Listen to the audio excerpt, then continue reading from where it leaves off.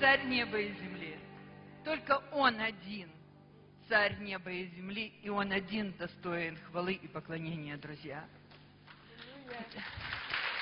Слава Ему! Вы можете присесть на свои места, друзья. А я хочу вам прочитать несколько слов вот из этой чудесной книги. Я для этого сниму очки. Придите послушайте, все боящиеся Бога, и я возвещу вам, что сотворил Он для души моей. Аминь. Это Псалтырь 65, 65 Псалом, стих 16. Друзья, почему я сняла очки? Да потому что я 7 лет провела в полной темноте. В 2000 году я начинаю с конца в вашей церкви, друзья. Так было угодно Духу Святому. Поэтому начну с 2000 и вниз. В 2000 году мне сделали операцию по поводу аневризма. У меня лопнул сосуд в голове. Это последствия моей первой операции, которая была проведена в 91 году. И во время этой операции я ослепла и меня парализовала. Семь лет полной темноты. Я не видела вообще ничего. Кстати, и сейчас компьютер показывает, что мои глаза слепые. Да, со мной документ. Если есть сомневающийся, может подойти проверить. Посмотрите шрифт моей Библии. Только что я прочитала вам отсюда стих. Потому что это сделал Бог. Диагноз.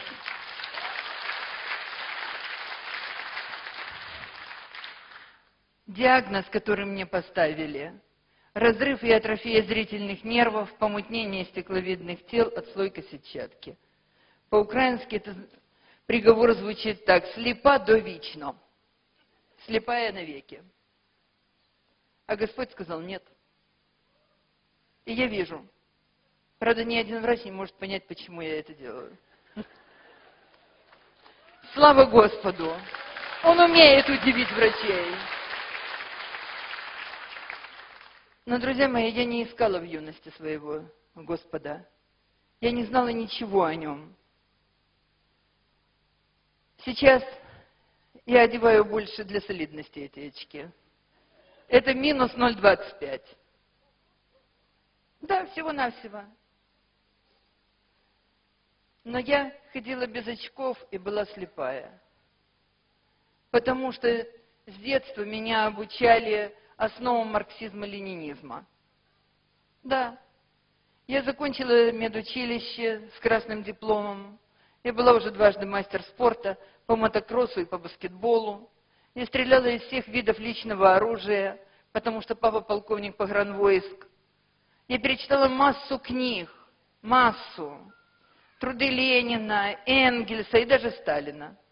Потому что папа фронтовик, много книг. Я не прочитала только одной. Библия. Я даже о ней, в принципе, ничего и не знала. И когда мне поручили написать статью о Поповском мракобесии, я говорю, это о чем же писать, я не пойму. Ну, напиши, что Бога нет, что тебе объяснять. Я говорю, ну, если его нет, то чего о нем писать? Интересно. Нет, ты должна написать, но партия сказала надо, значит, молодой коммунист сказал есть. Тем более, что буквально за четыре месяца до этого в Кремле мне вручали партбилет, вернее, кандидатскую книжку члена партии.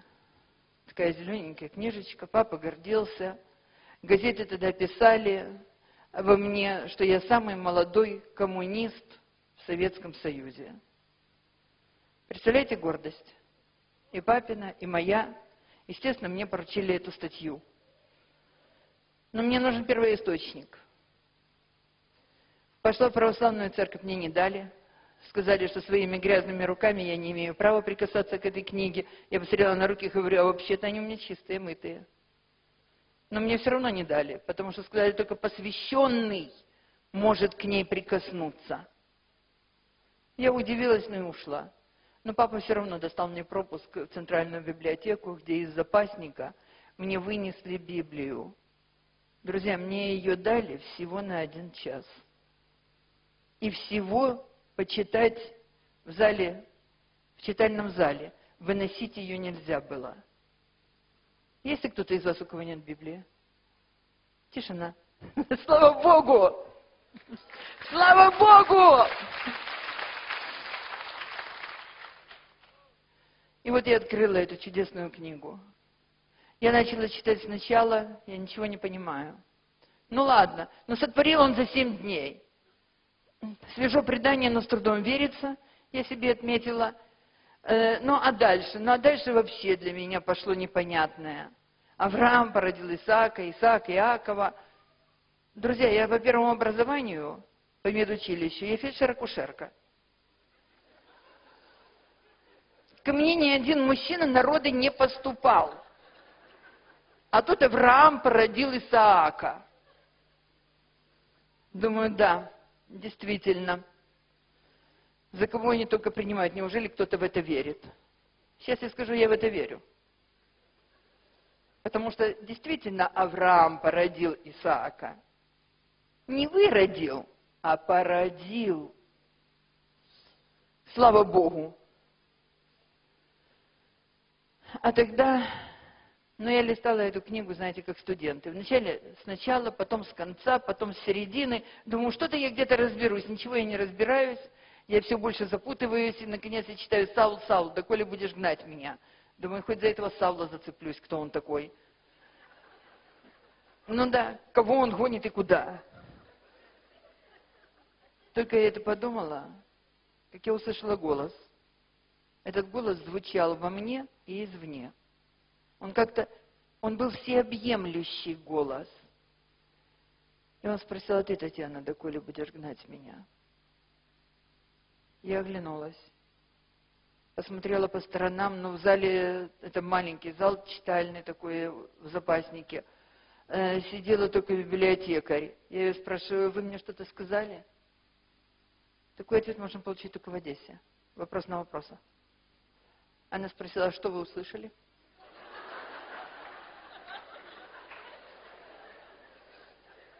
Думаю, так я тебе и сказала. Я говорю, да нет, ничего. Но, друзья, я много раз пыталась скрыть этот факт, не говорить его все услышания, но каждый раз Дух Святой меня побуждает сказать, потому что это иллюстрирует мое отношение к Библии. Я вырвала лист из нее. Да. Саул, Саул, доколе будешь гнать меня? Надо же разобраться дома. Я вырвала лист. Я положила его в рукав блузки, а Библию закрыла на застежечке, как положено, и отдала. Я до сих пор не знаю, видела библиотекарь мое кощунство или нет, но она промолчала. Она приняла у меня книгу молча а я вышла на улицу. Меня трусило, знаете, как лихорадка, как озноб. Но я вышла, яркий апрельский день. Одесса так красиво в апреле. Очень. Да благословит вас Бог. И люди ходят такие счастливые. Думаю, все, наваждение. Слава Богу, Слава Богу, и слышу, к тебе обращаюсь, Татьяна. Да коли будешь гнать меня? Я говорю, ты кто? Я встала вот так. Ты кто? Я Бог твой. Ну, тут уж мне совсем хорошо стало. Думаю, началось. Я говорю, я тебя не знаю. Я тебя не вижу. Гонишь? Вот и не знаешь, последовал ответ. Я говорю, ну я хочу тебя узнать. Это я так сказала, про всякий случай, ничего не хотела знать.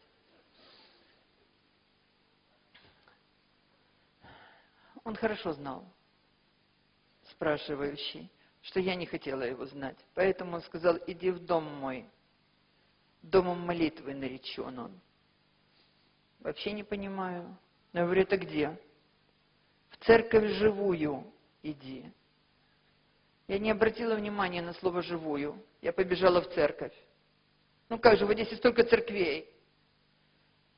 Я прибежала в первый попавшийся Преображенский собор, влетела э, с солнечного дня в потемки какие-то свечи, что-то такое. Я до этого никогда не была в церкви, кроме того раза, когда просила у батюшки Библию.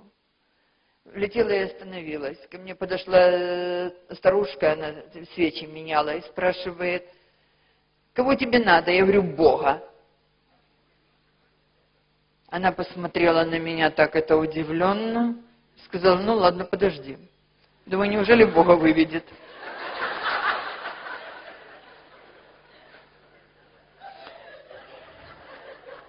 Пока ее не было, я смотрела по сторонам. Ну, иконы, они так зло на меня смотрят. Что-то мне уже и холодно становится. Тут батюшка выходит. Он, видимо, обедал, потому что он вытирал так рукой бороду.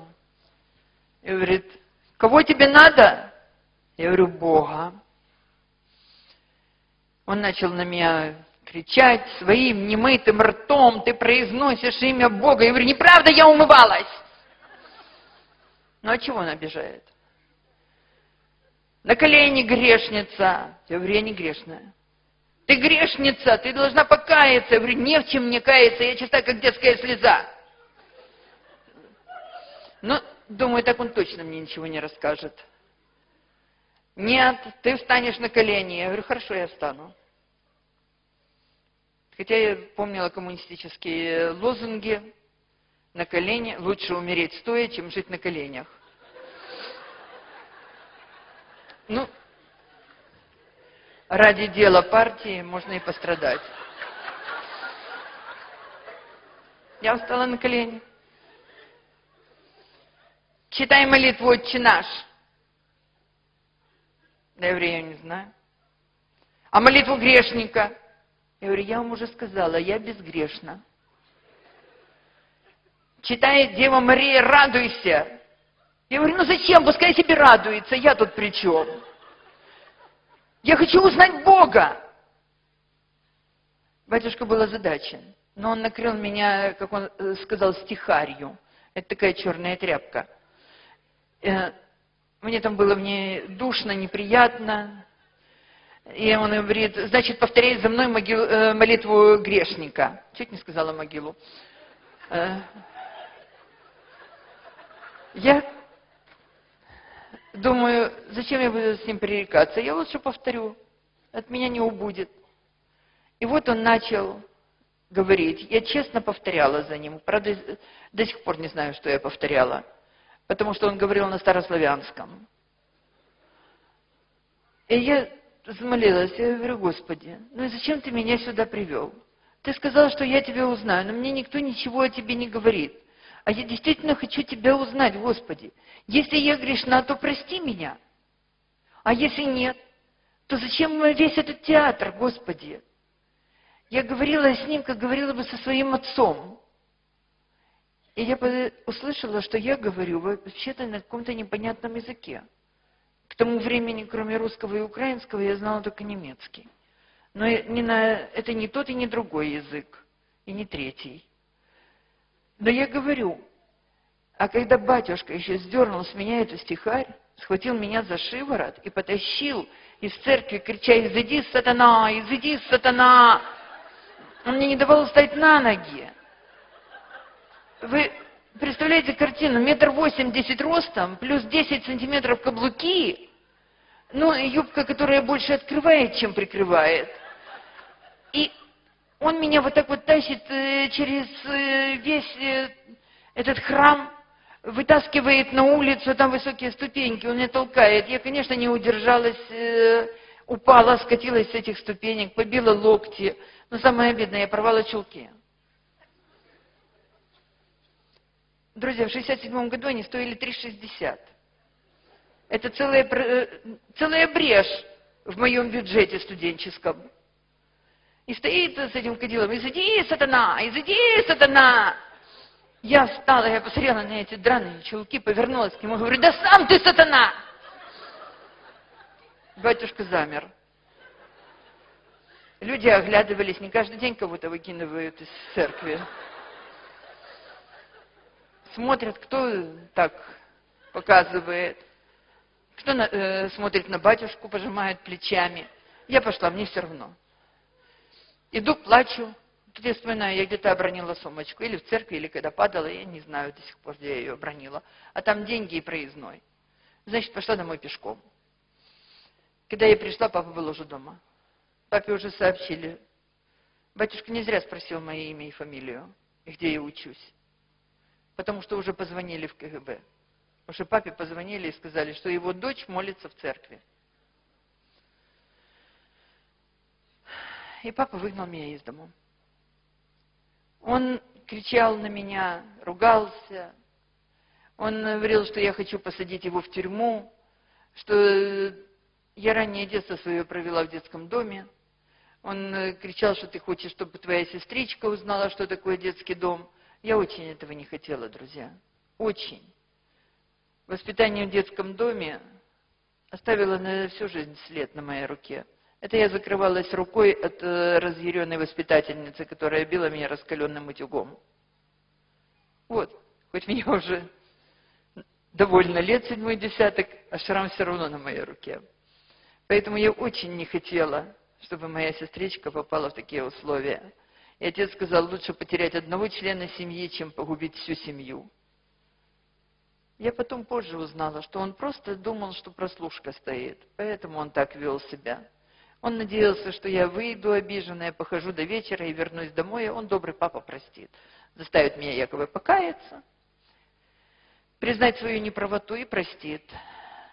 Но дочечку он воспитал с таким характером, как у него. Меня выгнали, и я ушла. Иду и бормочу. Ну, спасибо тебе, Господи. Жила спокойно. Нет, надо было ему объявиться. И что теперь? Дома у меня нет. В институте, как отец сказал, что меня исключат. Кстати, забегая наперед, скажу, исключили. Но через три дня, когда я принесла партбилет и сказала секретарю парткома, что я член другой партии, партии Христа. А в двух партиях состоять невозможно. Слава Господу! Но у Господа был план на меня. Пока я шла и роптала, он молчал. Я зашла на окраину Одессы, в район Слободки. Я увидела, в какой-то двор идут люди.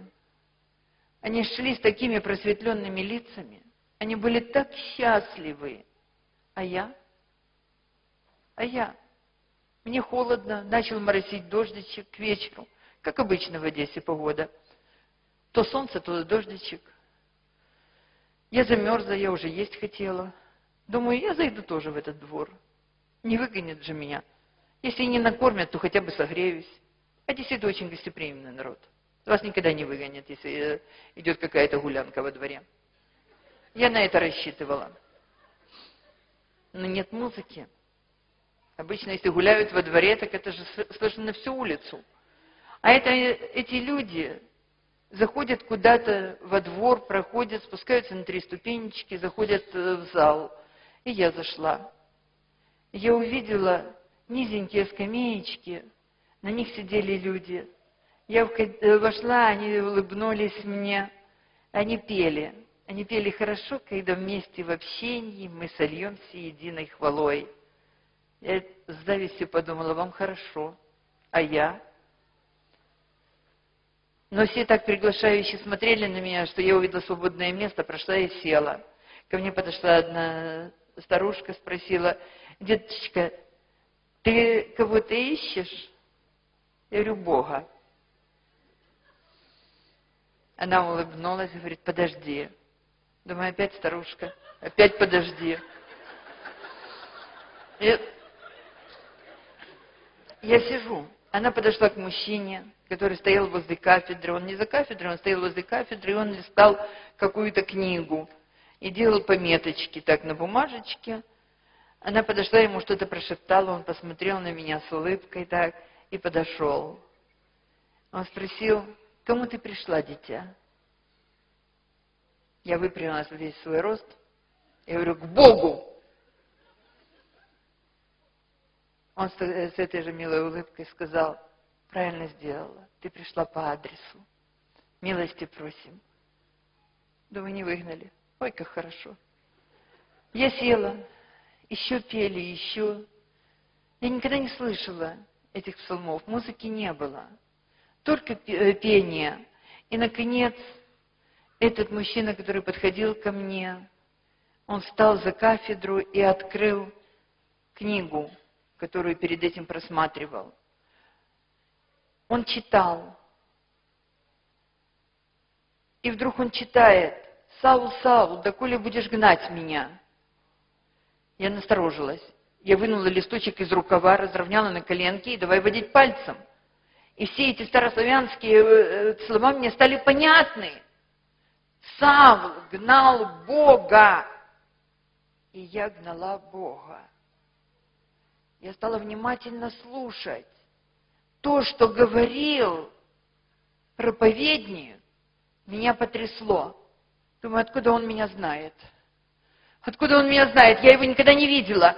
Но он говорит, он все говорит обо мне, обо мне, каждое слово его обо мне. И когда в конце собрания было провозглашено, кто хочет покаяться, кто хочет заключить завет с Господом через покаяние, выйдите наперед, я бежала вперед. Я бежала, я уже не говорила, что я безгрешна. Я вспомнила все. Я упала на колени и говорила, Господи, прости. Прости меня, Боже, за то, что я делала это и вот это, что я подписывала письма, э, которые э, требовалось, э, чтобы коммунисты подписали.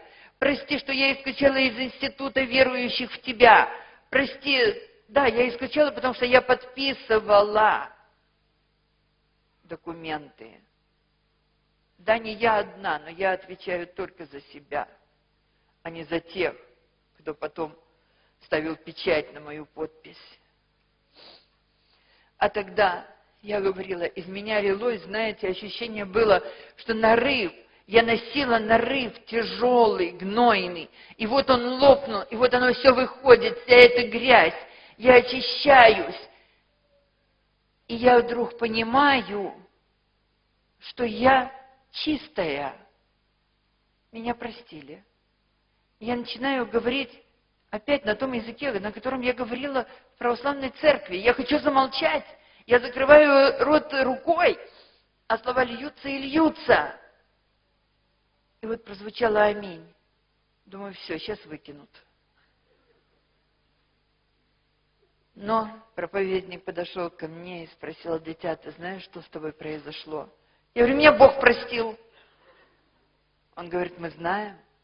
Я говорю, нет, вы не понимаете. Он меня простил. Мы знаем. Мы поздравляем тебя. Но ты заговорила. Я говорю, я нечаянно. Я больше не буду. Я не сумасшедшая. Конечно, нет.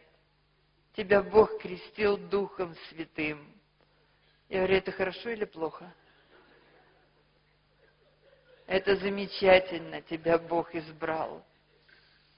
Я не понимала. Я не понимала, чему радуются все вокруг меня. Почему меня поздравляют, сестры обнимают и целуют. Я этого не понимала. Но как я им благодарна за ту любовь, которой они меня окружили. Так я пришла в Одесскую Пятидесятную церковь. Вскоре я стала членом этой церкви. В ней я состою и сегодня, с 67 года по сегодняшний день.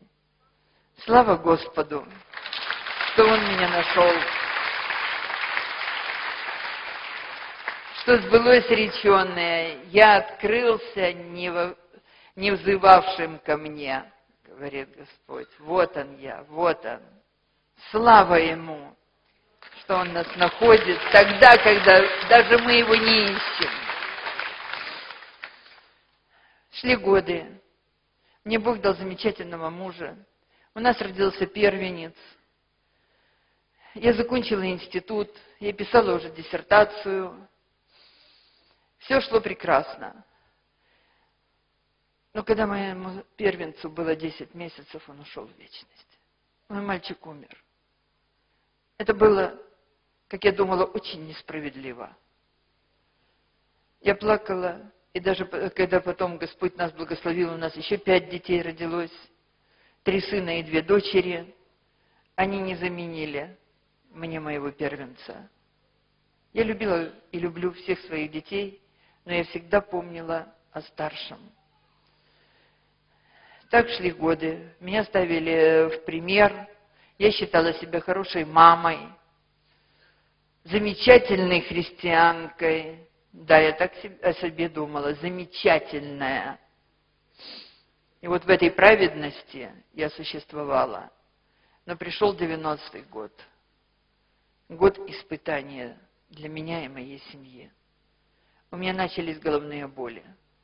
В 90-м году трое моих детей уже были женаты, у меня уже были внуки. Живи, радуйся, а у меня голова болит. У меня так болела голова, что порой, чтобы не пугать детей, я убегала в поле. Я каталась по земле и грызла землю. Я кричала и выла. Я перекусывала, я носила вот так карандаш, брала в зубы, чтобы не скрипеть зубами, я его перекусывала от боли. Муж пришел с рейса и ужаснулся. Он не видел меня полгода. То, что он увидел, его привело в ужас. И он заставил меня обследоваться.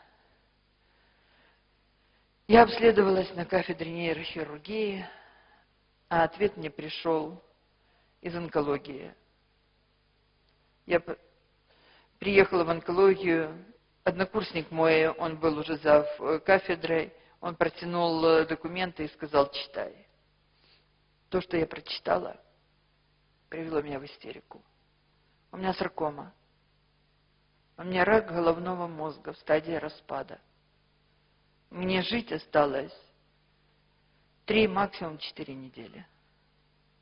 Не месяцы, недели. Как же ж мне стало себя жалко. Любимую. Как же ж я плакала.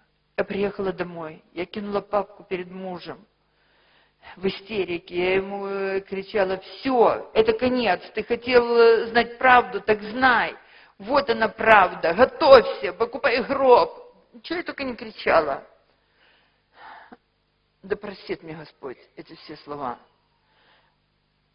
Но мой муж спокойно сказал, прекрати истерику. И твою абракадабру я не понимаю. Я тебе проход проведу в любую точку земли. А вот эти, я говорю, китайская грамота для меня. Прочитай, что здесь. Я говорю, саркома. Вот так просто, рак, и все. И что, говорит? Ну, рак. Подумаешь, рак. У тебя Бог есть. Я говорю, хорошо тебе говорить. Рак у меня, а не у тебя. Друзья, я потом просила прощения у мужа. Потому что он говорил, как сжалось его сердце. Но он знал, есть Господь. И его справедливость выше любых приговоров. Да и аминь. Церковь молилась за меня с помазанием. Мне делали облучение, химиотерапию. То, что вы сейчас видите, эти волосы, им где-то четыре с половиной года этим волосам. А тогда мои умные волосы покинули мою голову. После облучения химиотерапии я была лысая, ну, как локоть. И ни бровей, ни ресниц. Мой младший сынок даже боялся ко мне подойти. Он говорил, у мамы лицо голое. Но Господь через пророка говорит, что надо идти на операцию. Да кто же возьмет оперировать? В стадии распада. Рак съел уже там все. А Господь показывает, что руками хирурга водят руки Бога.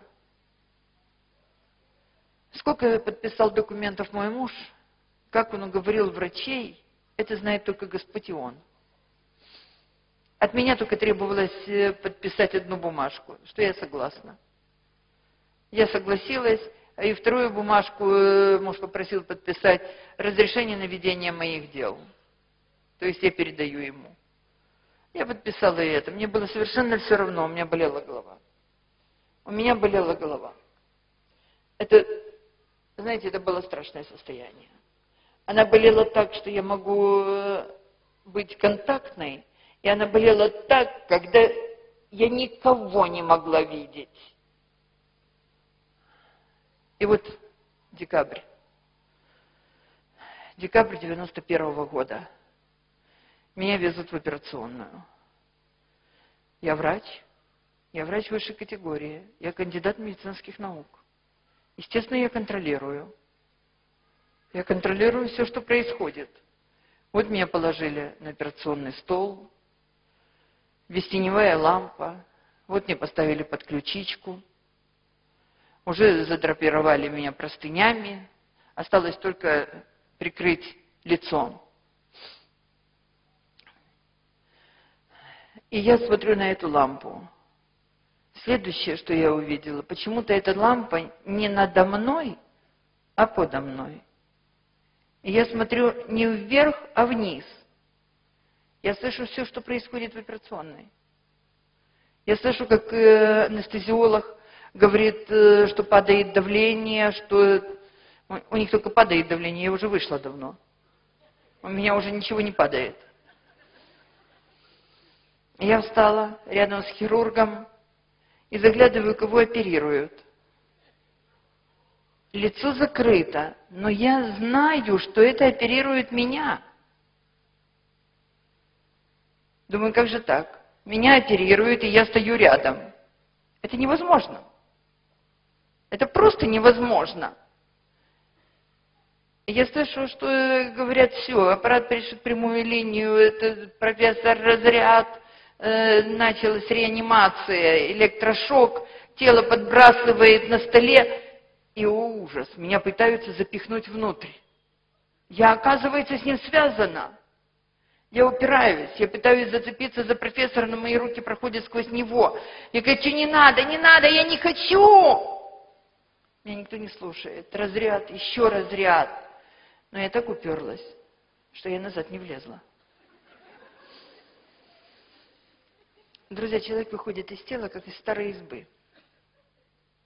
Может, в ней и было что-то хорошее, но сейчас мне вообще замечательно. У меня ничего не болит. Ничего! Думаю, зачем вы такие жестокие? У меня же ничего не болит. Зачем вы пытаетесь меня запихнуть назад? Но они говорят о своем, а я думаю о своем. Наконец я слышу, как э, профессор э, говорит, все, время вышло. Не имеет смысла, мозг погиб. Думаю, там да, а здесь нет. Кто, говорит, выйдет, скажет мужу. Говорю, я. Они не слышат. Думаю, ну и не надо. Я пошла, вышла в коридор. Когда я вышла, я поняла, что я дверь не открывала. Как-то так вышло. Мне все было новое, понимаете, новое. Я растерялась. И вот я подхожу к мужу, он стоит на коленях, и еще два брата э, по вере стоят с ним вместе, поддерживают его молитвой. Я к нему подошла, погладила по щеке, говорю, Славик, все в порядке, у меня больше ничего не болит. Он поднял глаза, и я вижу по глазам, что он меня не видит. А тут профессор вышел и говорит, мы не боги. Я с ним согласилась, конечно. Мы, говорит, не боги. Она ушла. Врачи избегают слова «умерла». И правильно делают. Не каждый, вышедший из тела, умер. Аминь. И я сказала, да, я ушла. Муж говорит, это невозможно. Это невозможно. Профессор говорит, что невозможно? Вы поймите, она умерла. А он говорит, неправда. Бог сказал, жива будет. Значит, будет жить. Профессор вздохнул и так сделал рукой. Он сказал, покажите его психиатру, говорит, потому что бедный, бедные дети. Умерла мать, и отец сошел с ума.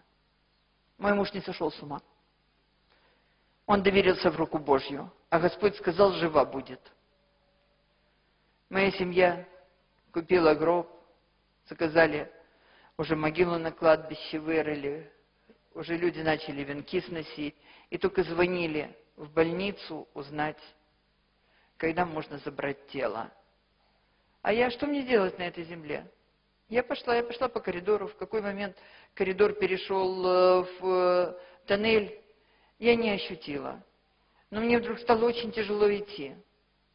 Вы знаете, как по болоту идешь, вроде кочка смотришь твердая, а станешь и э, провалилась нога.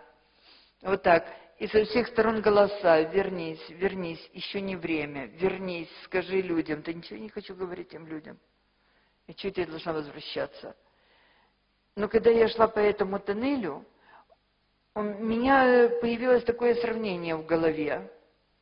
Не зря по первому образованию я акушерка. Что, наверное, ребенок, рождаясь, ощущает то же самое. Влажноватый, теплый тоннель, и тяжело пробиваться по нему свет впереди. Почему-то такое сравнение пришло мне. Но я должна выйти. И я вышла. Я вышла в тот свет, который я увидела. Не вышла, я выпала. И упала не вниз, а как-то вверх. И взлетела. И раз, и второй. Так же мне это нравилось ощущение. Когда папа брал меня из детдома, э, мы вышли за ворота, и он взял меня на руки и подбросил в небеса. И поймал. Немножко страшно, восторг, счастье и уверенность, ведь папа поймал в крепкие руки. Я этот же восторг, только более сильный ощутила, когда взлетала раз и раз. Это было чудесное ощущение. Я так ему увлеклась, что не сразу заметила, откуда появился такой сгусток света. По мере приближения я видела фигуру человека – это сияние исходило от этой фигуры. Он был так красив. Он был так красив. Покрывало, покрывало его голову.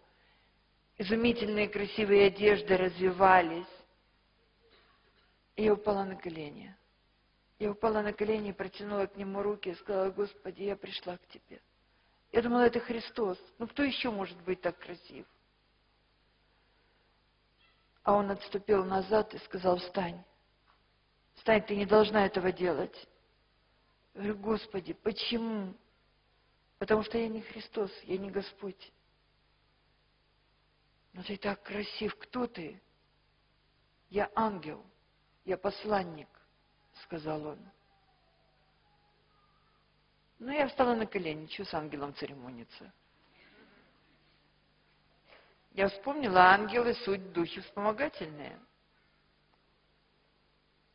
Ты должна вернуться. Ага. Я говорю, а ты там был? Вернуться. Там так грязно, так больно, так противно, не хочу. Я говорю, я хочу к Богу. Я хочу к Богу. Христос, э, уходя, сказал, где буду я, там и вы со мною. Да, говорит, но тебе не время. А вот времена как раз у Бога. А, как я хорошо знаю то, что мне надо. Угу. И вот он сказал, хорошо, ты пристанешь перед Богом. Значительно позже я вспомнила, он не сказал, увидишь Бога. Он сказал, ты предстанешь перед Богом следуй за мной. Я повернулась следовать за ним. И в это время я увидела, откуда я вышла. Не из тоннеля, а это была завеса мрака. Понимаете, такая вот завеса мрака, как вот городской смог. Грязный, безводный такой вот э, смог. Я даже посмотрела, не выпачкалась ли.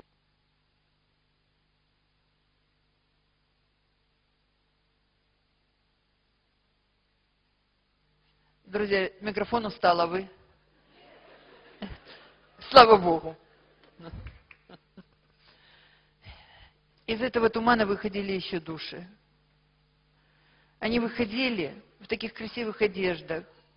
Они пели, они пели псалмы. Многие из них я знала, псалмы. И уходили куда-то вперед и в вечность туда. Я так залюбовалась ими.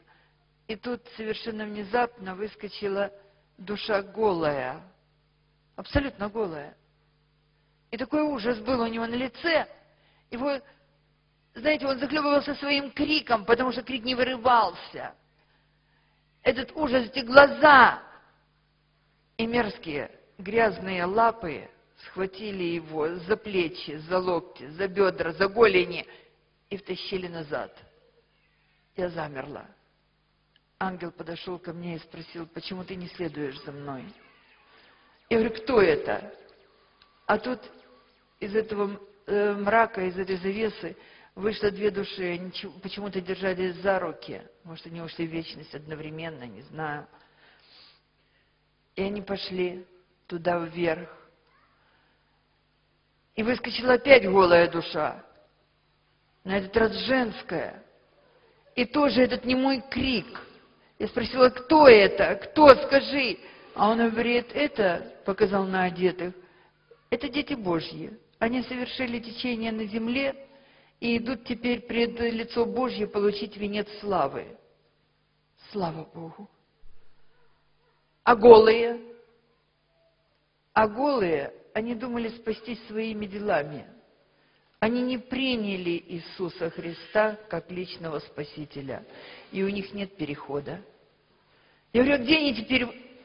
Если Господу будет угодно, ты узнаешь, сказал ангел. Я говорю, «А почему они голые? Они лишены славы Божьей, сказал ангел. Я вспомнила, одежда праведного, слава Божия. Я посмотрела на себя, аллилуйя. Аллилуйя, на мне была одежда. Слава Богу. Я каждый раз радуюсь, как тогда обрадовалась. Слава Господу. На мне была одежда. И я вспомнила апостола Павла. Помните первое послание Коринфянам? Смотрите, как бы вам не оказаться голыми, думая, что вы одеты. Апостолу Павлу тогда еще Господь показал голых. Как бы нам не оказаться в своей праведности. Наша праведность – это мы голые, а Божья праведность – мы одеты. Слава Ему! Слава Богу!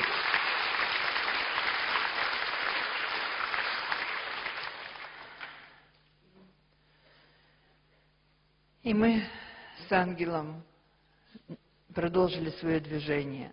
Я говорю, продолжили движение, потому что у нас было два вида движения. Я ощущала босыми ногами траву и твердь небесную. Я не говорю землю, потому что она не похожа была на землю. Там не было ничего черного, грязного. Твердь небесную. И эта трава ласкала мои босые ступни. И в то же время мы перемещались как бы толчками, оказываясь каждый раз на новом месте. Это было так восхитительно. Друзья, на небесах есть реки, озера. Реки берут начало от трона Божьего. Озера, леса, сады. Это замечательно. Сколько новых животных я видела – я узнавала тех, которых я знала, которых я знала на земле. Может, ладно, будем пробовать и микрофон, и так. И те, которых я не знала. Я вертела головой во все стороны. Мне было очень интересно. Музыка, музыка. Мне так она нравилась. Притом от рока до классики. Но все это так органично дополняло друг друга. Я имею в виду рок-н-ролл, я не имею в виду хэви-метал. Это немножко разное. И разных богов эти музыки славят. Да и аминь. Но я видела группы людей, Я говорю людей, потому что я их воспринимала именно как людей. Друзья. С прекрасной кожей, с замечательными лицами. Я узнавала знакомых, узнавала друзей, и только поражалась, ну как же так? Эта сестра, она же ушла стариться и в вечность. Ей же было хорошо за 80. А здесь она молодая. Я удивлялась и только крутилась во все стороны, рассматривая. Я думаю, откуда свет? Свет становится все ярче, ласковей, нежнее. Он осязаемый. Он не такой свет. Он живой. И только я хотела спросить ангела, откуда свет, как я увидела, что мы остановились. И свет льется от трона Божьего. Мы стоим у самого подножия. А я вот такая маленькая у трона. Вот такая маленькая. Я вижу только нижний ряд украшенный. Но, друзья мои, какая это красота! Я любовалась этой красотой, но я услышала голос. Этот голос когда-то спросил меня, да коли будешь гнать меня, Татьяна? Этот голос утешал меня, когда я ложила в гроб своего младенца. Этот голос обличал меня, а я ему говорила, сама знаю, тише, исповедуюсь, и все будет в порядке. Да, это говорил Господь. Я узнала этот голос. И он спросил меня, что ты сделала для меня? Господи, да моя вся жизнь в Тебе. Я всю жизнь свою отдала Тебе, Боже. Лучше бы я сразу сказала, Господи, я ничего не сделала для Тебя. Ну как же, я же героиня. Вся моя жизнь в Тебе. Как стыдно.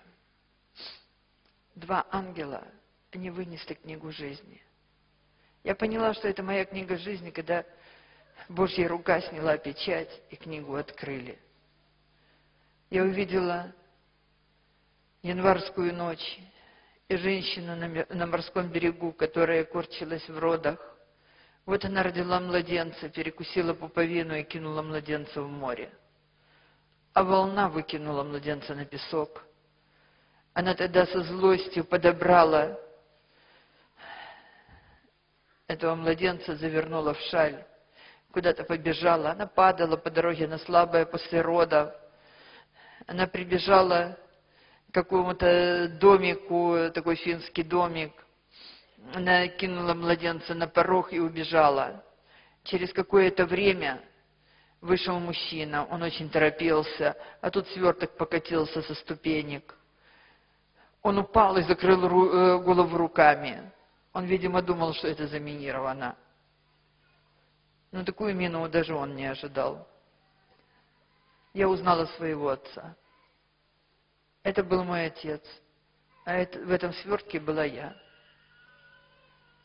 Никто, когда меня брали из детского дома, мне родители сказали, что меня потеряли при переезде. Все-таки 47-й год, только кончилась война, и меня просто потеряли при переездах из гарнизона в гарнизон, с заставы на заставу. Никто меня не терял, меня просто выбросили. И когда у моего папы умерла дочь, а жене поставили диагноз бесплодия после операции аппендицита и перитонит – она ему сказала, что у тебя же есть дочь, давай найдем. Так я оказалась в семье. Я узнала много подробностей и много тайн, которые скрывались в нашей семье. Это была моя жизнь. И я сказала, Господи, вся моя жизнь в Тебе. И я увидела, как я жила для себя, а не для Бога. А что Ты сделала для меня? Спросил еще раз Господь. Я говорю, Господи, я читала Слово Твое. Я утром и вечером читала по главе. И я вижу, я говорю, что я читала Слово Свое, я уже на, вижу на экране, как я его читала изо дня в день, и что при этом было. Потому что я вижу не только, как я читаю, но что я при этом думаю, и что делают мои руки. Вот одно утро я проспала. Я схватываю с постели, быстренько одной рукой ставлю чайник на газ, второй рукой э, достаю бутерброды, мазать, то вспоминаю, надо разбудить детей, э, бужу у детей, ой, надо же прочитать э, главу из Библии, это же каждое утро надо. Я открываю наугад, Господи, ну почему 118-й псалом сегодня? Вы знаете, друзья, это самый длинный псалом. Почему именно сегодня, когда я проспала? Я прочитаю сегодня 149-й. Он вот такой. А Господь мне говорит, я хотел, чтобы назидалась твоя душа. Я говорил тебе, а ты не пожелала слушать. А что ты сделала для меня? Господи, я молилась. Я молилась постоянно. И утром, и вечером, и в течение дня, везде, на каждом месте, где у меня была возможность.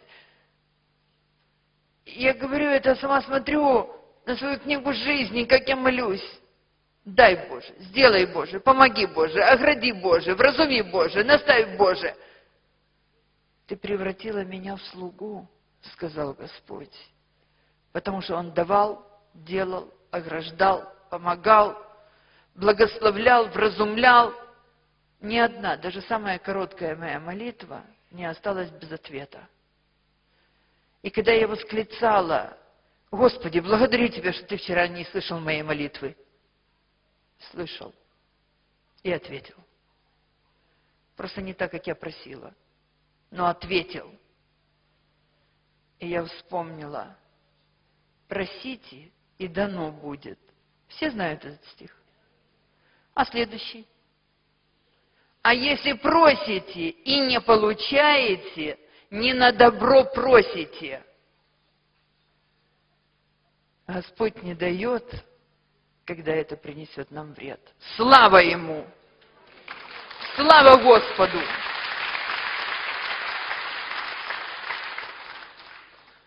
А что ты сделала для меня? Господи, я десятину платила.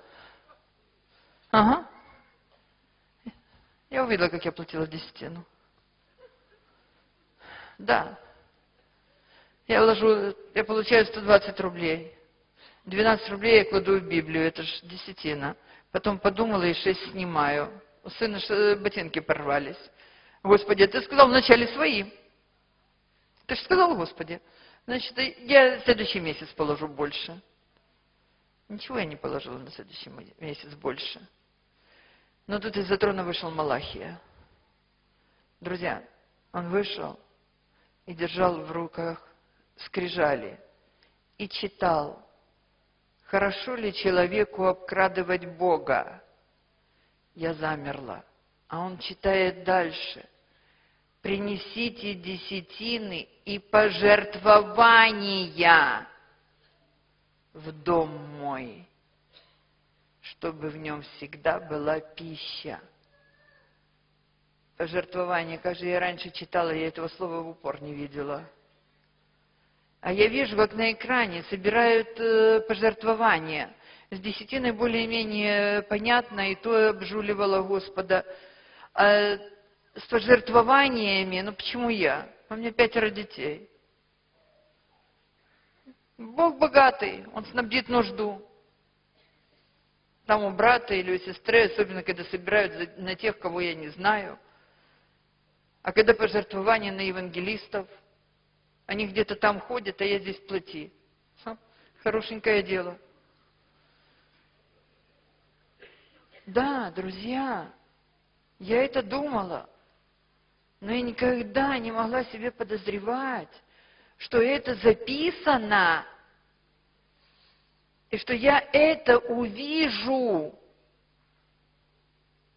Если до этого я еще пыталась выдраться из-под руки ангела, то здесь я замерла и думаю, какая же маленькая рука у этого ангела, что он меня не может закрыть.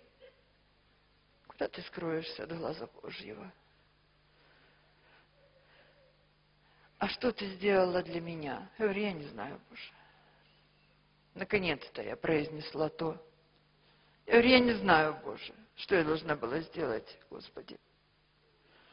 А что я сказал апостолу Петру и брату его Андрею, когда призвал их? Ты же читала? Я говорю, я не помню. Я не помню. Но ангел, мой добрый ангел, он подсказывает мне. Следуйте за мной. А, я вспомнила. Следуйте за мной, и я сделаю вас ловцами душ человеков. Да.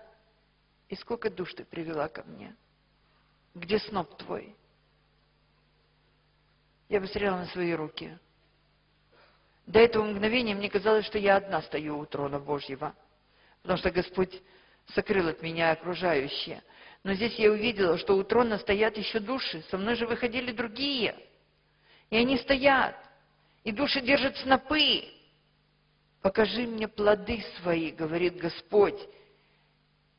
Я смотрю на ангела, он держит корзинку, и там так мало плодов. Там даже девяти не набралось плодов. И они не лучшего качества. А рядом стоят души, их ангелы, держат корзины с прекрасными плодами. А они держат снопы, у одного руки не сходятся, такой сноп большой, а другой кладет э, свой сноп э, к подножию трона, а у него в руках новый появляется, он опять кладет, у него опять новый, а я стою с одним колоском. Меня один единственный колосок, друзья. Мне так стыдно, я так протягиваю Господу. И сама себе думаю, а ведь должно бы быть хотя бы еще пять. У меня пять детей. Ну, к стыду своему скажу, друзья, это не мои колосья. Я была неразумной матерью. Я научила своих детей бояться Бога. Я не научила их любить Бога. И мне Господь показал только одно утро из э, моей жизни и моих детей, когда я утром раздраженная, я пришла после ночного дежурства, а тут воскресенье, надо ехать в церковь, это 30 километров. Я хватаю детей, бужу их, э, э, младший кушать. Какой я кушать пост? В посте надо в церковь. И вот я их притаскиваю, сажаю на переднюю скамейку. Сидеть, руки, Мои дети кладут ручки на коленки и смотрят. Так, Бог все видит, так и знайте. Только э, шелохнитесь мне. А сама я думаю, меня интересует, а там каталог Арифлейм. Ну да? Только появился Арифлейм в Украине. И я сажусь и начинаю сестрички рассматривать, так, это мне уже не надо, вот это, о, вот это новое, интересно, вот этот крем я, наверное, возьму. И тут я замечаю, что пастор на кафедре. Он поднимает всех на молитву, но не мог он через две минуты, я из не успела заказ сделать. Позорище. Я уже плачу. А мои дети, они сидят, смотрят на проповедника и тихо ненавидят Бога. Внешне благополучные мои детки – они тихо ненавидят Бога. И это сделала я, их мать. Это ужасно. Поэтому Господь позволил мне выпить очень горькие чаши с каждым из моих пятерых детей. И то, что сегодня все мои пять детей и девять внуков спасенные и любят Бога и служат Ему – все потому, что милостивый Господь дал им мудрого отца. Слава Богу! Слава Богу!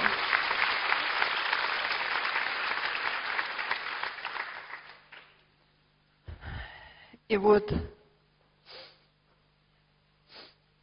я уже плачу, мне уже совсем плохо, но раздался голос – этот ужасный голос, скрипучий, мерзкий, он хохотал. Он хохотал и говорил Богу, отдай ее мне. Она служила мне, она моя. Я с ужасом посмотрела, кто претендует на меня. Дьявол. Это он пришел. Я не помню, какие черты лица его, потому что его глаза они буквально ненавидели меня. И вдруг я с ужасом увидела, что у него-то корзина полная. И я вижу, что это совсем свежие-свежие плоды. Это то, что он насобирал от моего последнего покаяния перед хлебопреломлением до моей смерти. А корзина-то полная. И там все. Непослушание, ропот, зависть, раздражительность, злословие. Он не потерял ничего. Он ничего не потерял, вы понимаете? Он ничего не потерял. Он все принес. И я поняла. В этот миг я к своему ужасу поняла, если сейчас Господь скажет, бери, это будет высшая справедливость. Это будет справедливо. Я уже не надеялась ни на что. Но тут я увидела Голгофу. Я увидела Голгофу, и Христос на меня смотрит. Его глаза. Он так на меня смотрел. Ему было так больно. Но он не судил меня. Он смотрел с любовью. А я... А я потрясала кулаками и кричала, распни, распни его. Я закричала, Господи, ну как такое может быть? Две тысячи лет, две тысячи лет прошло, Господи. Я не жила тогда. А Господь печально так сказал, но грехи, которыми ты согрешала, это они распяли сына моего.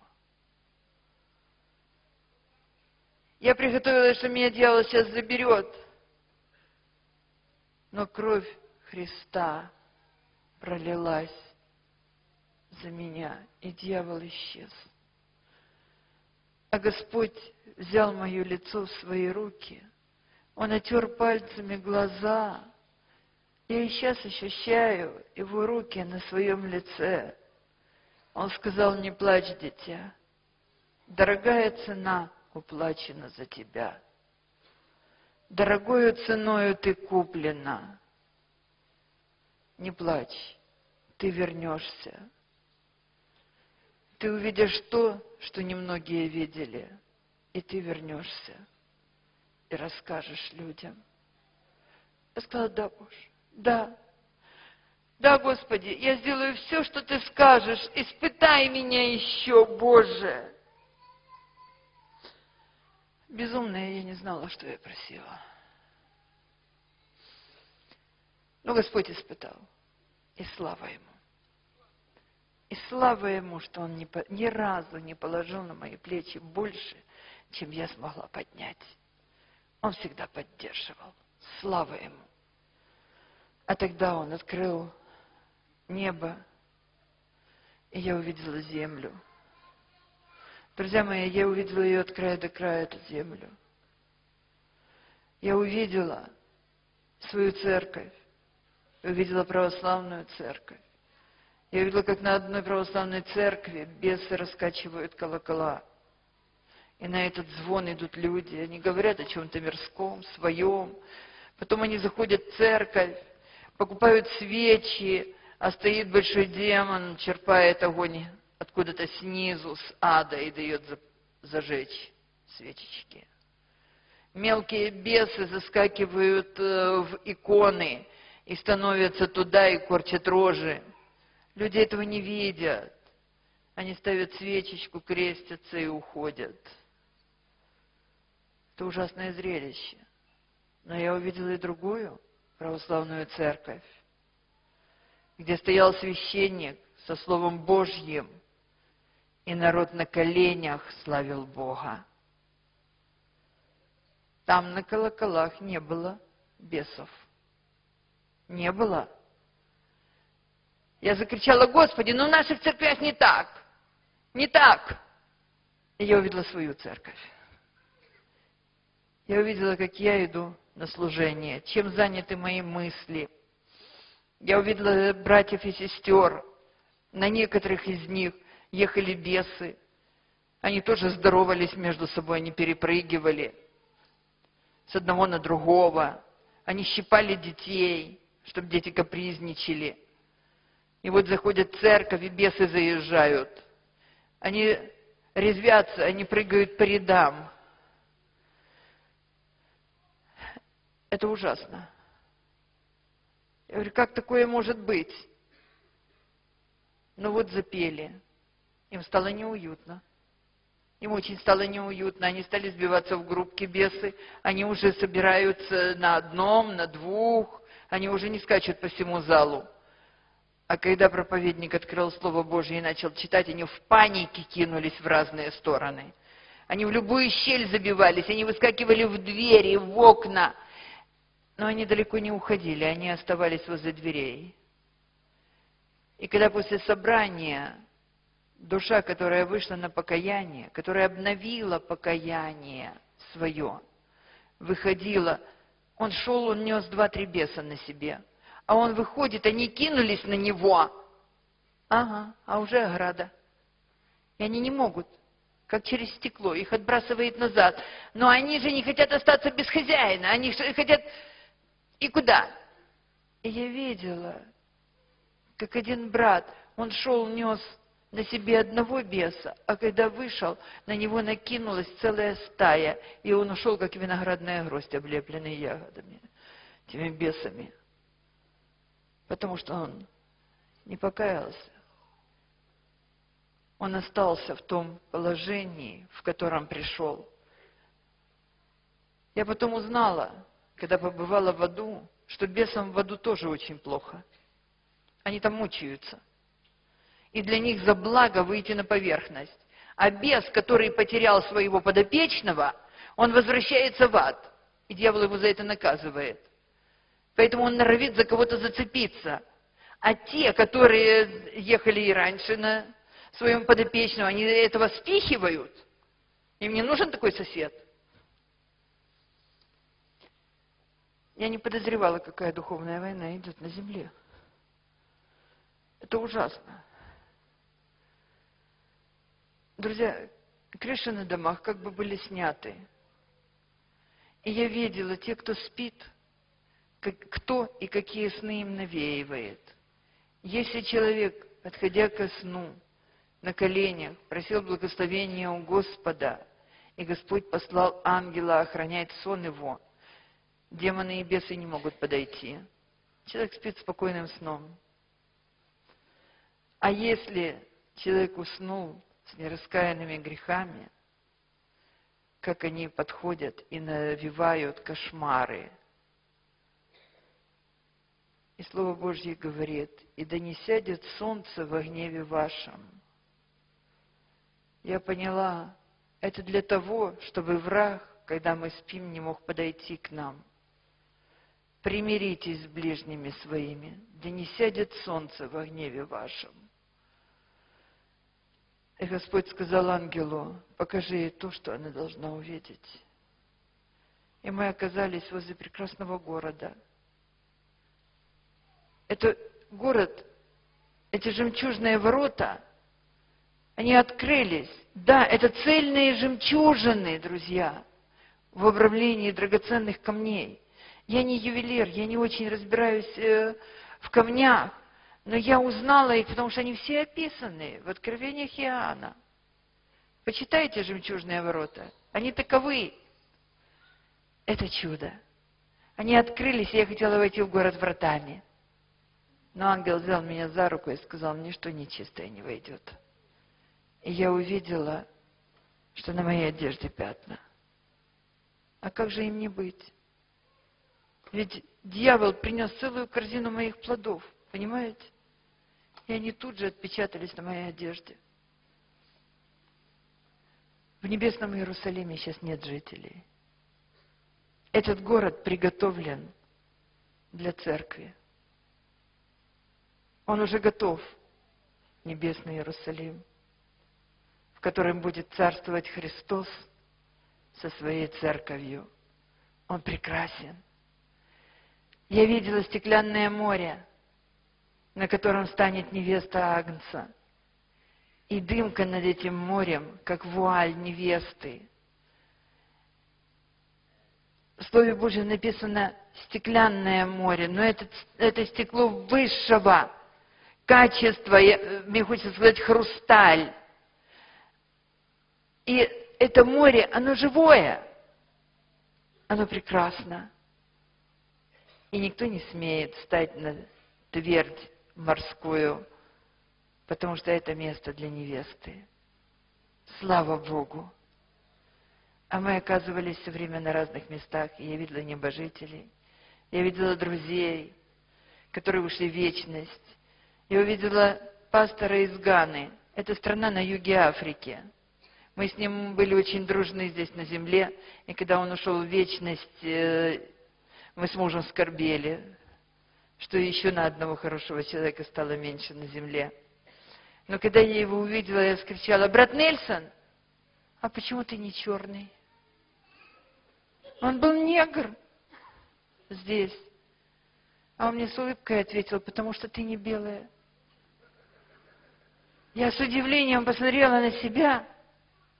Друзья, а у меня жемчужная кожа. Как розовый жемчуг, подсвеченный изнутри, и он такой же. И я вспомнила, не все вы умрете, но все вы изменитесь. Нам Господь дает другую плоть. Слава Ему!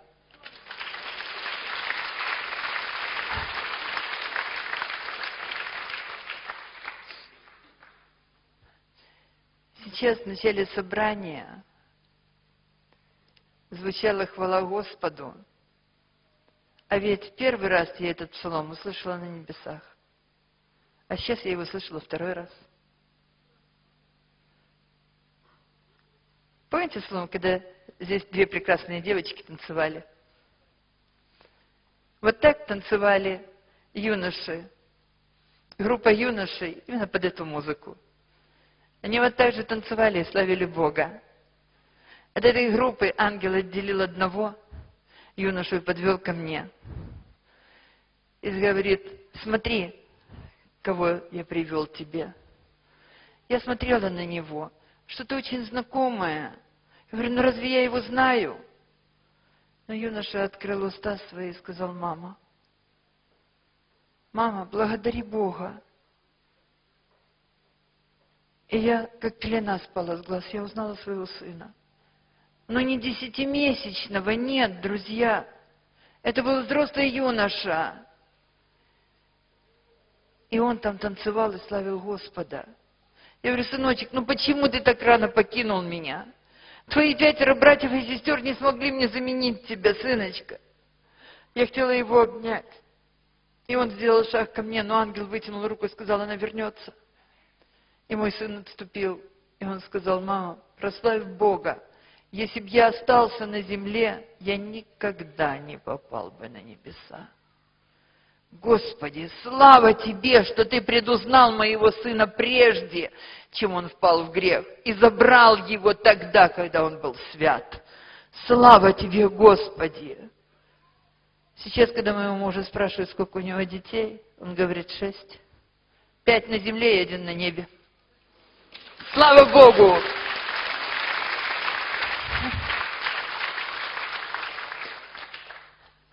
Но мы оказались в другом месте. Это был как бы сад или парк, потому что там были разные деревья.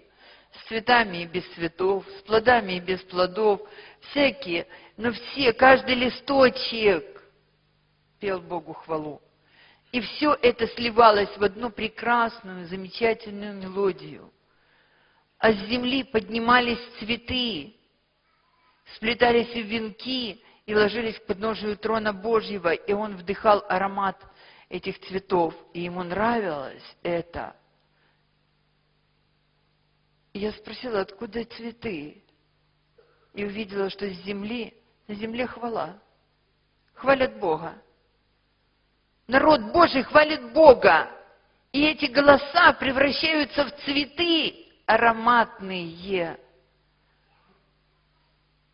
Там прекрасные лилии и розы. Там нежные незабудки и ромашки. И даже манипусенькие такие цветочки, ну красивые-красивые. Я раньше стеснялась петь в церкви. У меня очень скрипучий голос, а слуха у меня никогда не было. Поэтому я всегда стеснялась, но сейчас я пою. Потому что даже вот такая вот кашка моя, может быть, манюпусенькая, она не портит общего букета славы Господа. Аллилуйя! Пойте Господу хвалу. Ему угодна эта жертва. Слава Ему. И там я увидела домик, прекрасный такой домик, как пряничный. Я спросила ангела, кто там обитает. Мы вошли, и я увидела отца. Но не 70-летнего, нет, а молодого. Молодого, я его такого и не знала, моего отца. Он что-то делал, и он пел, славьте Бога, славьте всей душою. Мой папа никогда не знал ни одного псалма, друзья. Он успел покаяться буквально за несколько минут до смерти. На больничной постели. Я говорю, папа, а почему ты так далеко от трона? А он сказал, я как головня, выхваченная из огня. Как головня, выхваченная из огня. Господи, слава тебе, что ты из огня вытаскиваешь. Слава тебе, Боже!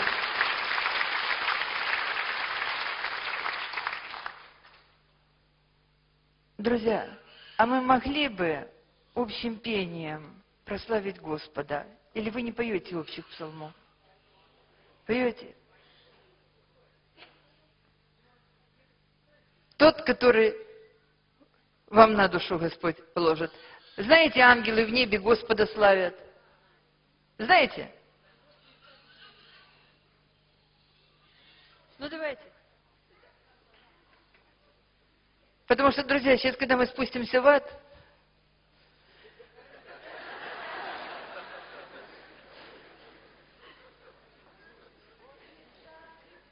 Черна велика, начало не льется, как река, и как волна лобзает берега и широка, сильна и глубока.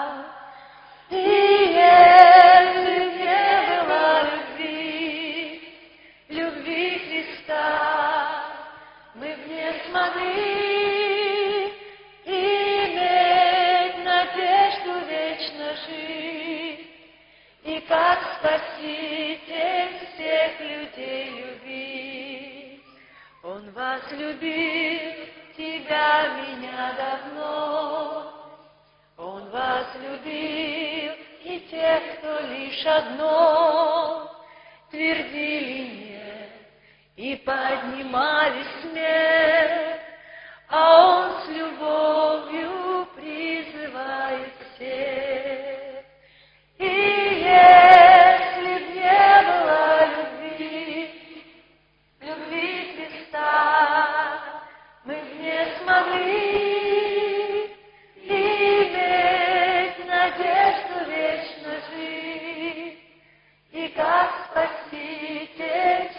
Людей любить. Приди скорей, скорей тебя он ждет, давно стоит у каменных ворот, стучит к тебе, открой уже пора, прими любовь без блата серебра. И если б не было любви, Христа, мы б не смогли иметь надежду вечно жить, и как Спаситель всех людей любить. О, если б знал живущий на земле, Любовь Христа, лишь ею дышат все. И если Бог любовь отнял на миг, то этот мир давно уже погиб. И если б не было любви, любви Христа, мы б не смогли иметь надежду вечно жить. И как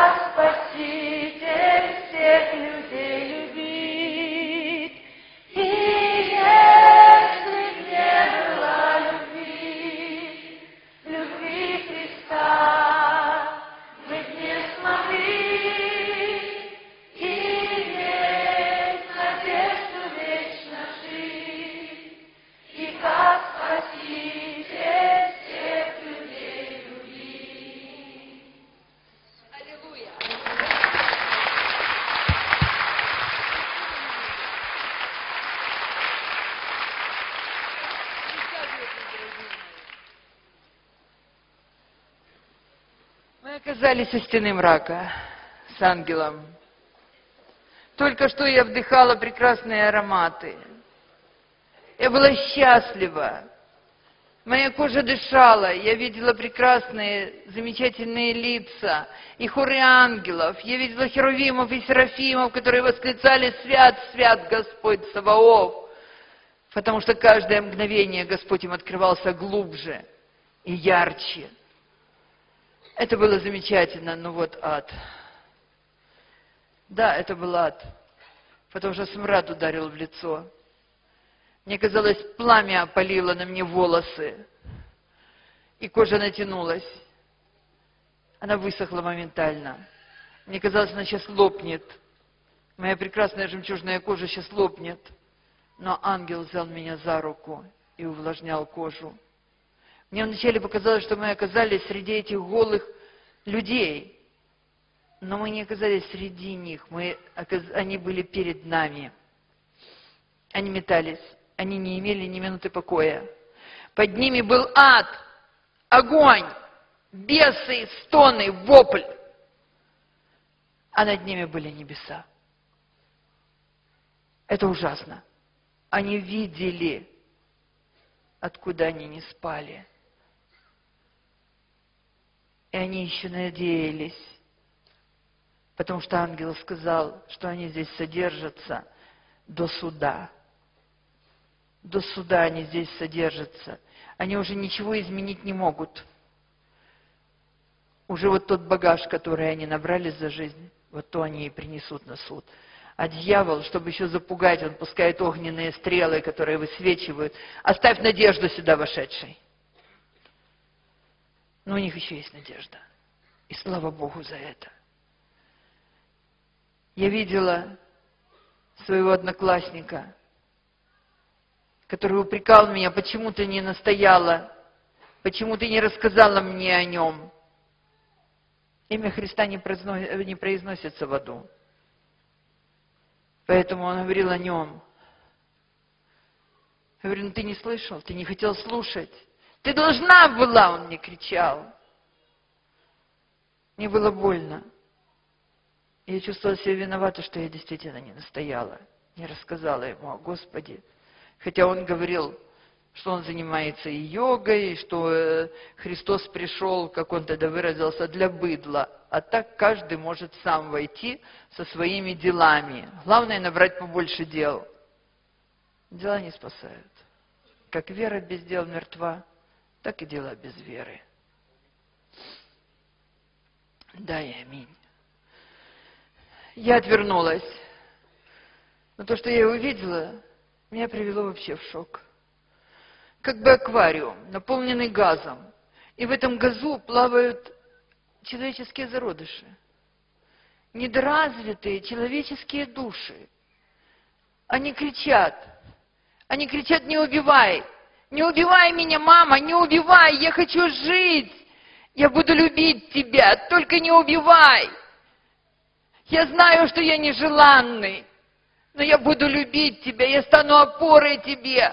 Они обращаются к отцам, они кричат, защити. Я торопела. Я уже догадывалась, кто это. Но спросила ангела, кто это? Это говорит Души, которые должны были прийти в мир и совершить свое течение. Но родители-убийцы не пустили их совершить это течение. И теперь они здесь содержатся до суда, где они будут свидетельствовать против своих родителей. Я скричала, ну Бог не нуждается в свидетелях. Да, Он не нуждается в свидетелях. Но чтобы души родителей убийц не сказали, что Бог лжец, эти души придут на суд. Меня взяла оторопь. Я возблагодарила Бога, что у меня не было ни одного аборта, что всех, кого мне дал Бог, они пришли в этот мир. Слава Богу! Но вдруг я увидела, как бы, как, знаете, рукой кто-то взял и извлек душу. Она поднялась вверх и исчезла там наверху. Потом другая. Я испугалась, говорю, куда они исчезают, что происходит? И ангел сказал, ничего, все хорошо. Родители покаялись. Им прощен этот грех, они больше не убийцы. И некому свидетельствовать против них. Слава Богу! Слава Богу! Я говорю, ну что будет с этими душами? Это знает Бог, сказал ангел. Каждый раз, когда произносилось имя Бога, ад ревел и кидались на нас всякие сущности, от громадных демонов до мелких бесов.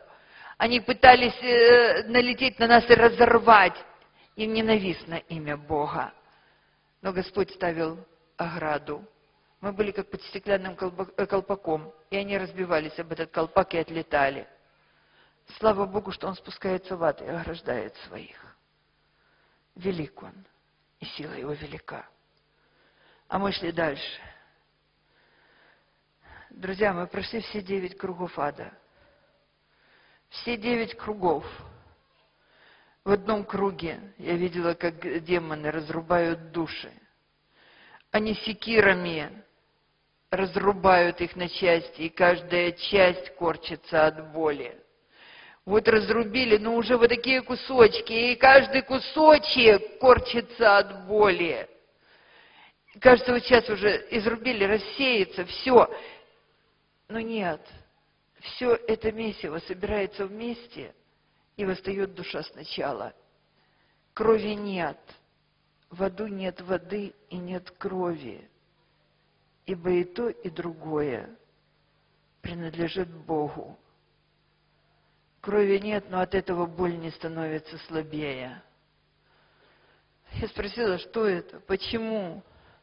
Почему такая мука? Это делавшее разделение, сказал ангел. Я говорю, я не понимаю. Что значит делавшее разделение? Они искали своего и делили церковь Божью. Они искали своего и разделяли семьи. Стараясь возвеличить себя, они делали разделение на работе. И теперь они ощутили это разделение в полном объеме. Я там увидела знакомые лица тоже. Я отвернулась, они вопили ко мне. Они простирали руки. А что я могла сделать? Ничего. Ничего. Друзья, молитесь о своих близких, пока они на земле. Когда они уйдут в вечность, вы ничего не сможете им сделать. Ничего, понимаете, не обольщайтесь. Своим соседям, православным, католикам говорите, что они только самообольщаются. И пусть молятся лучше за живых. Потому что те уже обречены. Я отвернулась. Но я увидела глаза моей бабушки. Я только что на небесах видела моего папу, ее сына. Он как головня, выхваченный из огня. А моя милая бабушка, у нее столько икон было, она знала столько молитв. А теперь два больших демона клещами, такими щипцами вытаскивают ее язык. От раскаленных щипцов он начинает гореть. Медленно, медленно. Он горит, пламя ползет в гортань. Она вначале кричит, потом хрипит. И вот она выгорает. Она выгорает вся изнутри. И вот лопнула. Вот осталось уже пепел. Сейчас он развеется. Я так надеялась, так надеялась, сейчас он развеется. Но нет. Пепел падает кучкой, щипцы разжимаются, и сгоревший кусочек языка падает на этот пепел. И она опять становится. И мука начинается сначала. Уже более 30 лет она там, а впереди вечность. Я кинулась помочь ей. Я чувствовала, что у меня влажная рука, которая, за которую держал меня ангел. Я хотела хоть чуть-чуть потушить, потушить это пламя.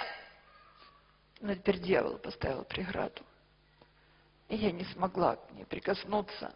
А она, она смотрела на меня. Она молила глазами. Я спросила ангела, как же так? У нее же были иконы. И ангел сказал, ее идолы ее не спасли. Она имела лживый язык, лживые уста. И я вспомнила, как когда-то в детстве услышала соседки, говоря о ней. Одна сказала Наташка, а та говорит, какая Наташка? Да черноротая. Я тогда прибежала домой, и смотрела бабушке в рот. Говорю, бабушка, а что говорят, ты черноротая? Вроде как розовенький ротик. Теперь я поняла, почему ее назвали черноротой. Она лгала. И язык. Она не обуздала его.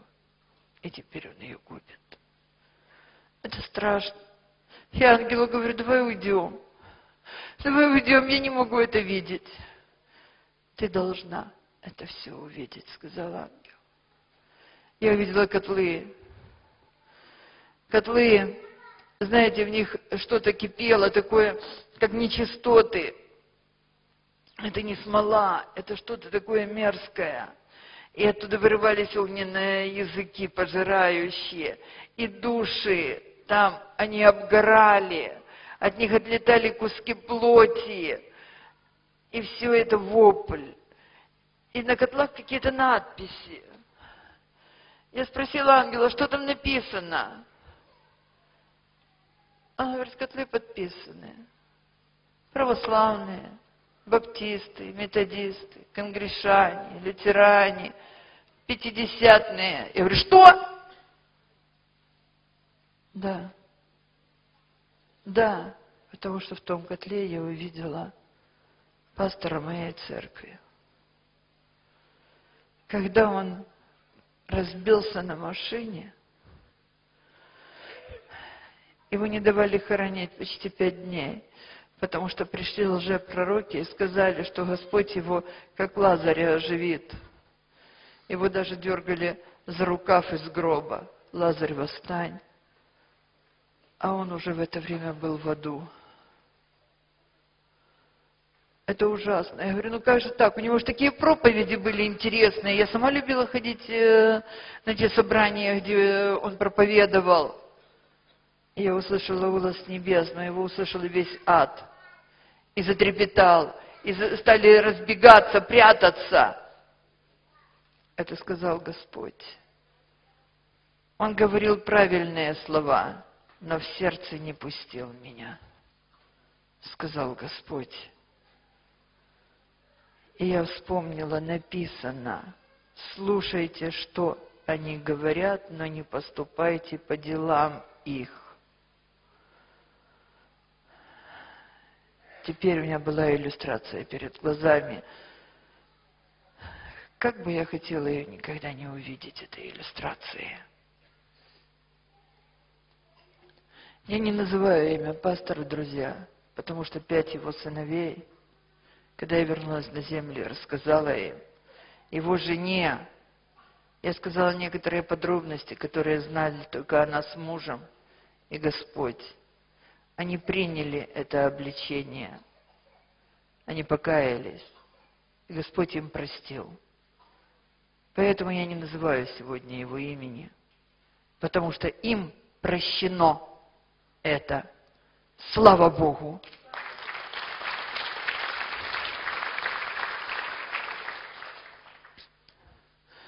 Мы спускались ниже. Мы спускались все ниже в ад. Друзья, простите, я каждый раз, когда свидетельствую об этом, я переживаю все сначала. Я не актриса, я не умею держать себя в руках, поэтому простите мне мои эмоции. И вот мы достигли самого дна, девятого круга. В седьмом круге я видела огненное озеро. Огненное озеро, в нем пока никого нет. Но слуги дьявола пытаются душами закидать это огненное озеро, а оно приготовлено для дьявола. Души не долетают. Дьявол все еще надеется, если он закидает это озеро душами, то ему не хватит места. Хватит. Слава Богу, это место приготовлено для него. Слава Христу, Он победитель.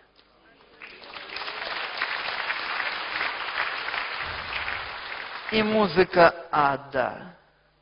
Представляете, вопль, скрежет зубов, стоны и музыка.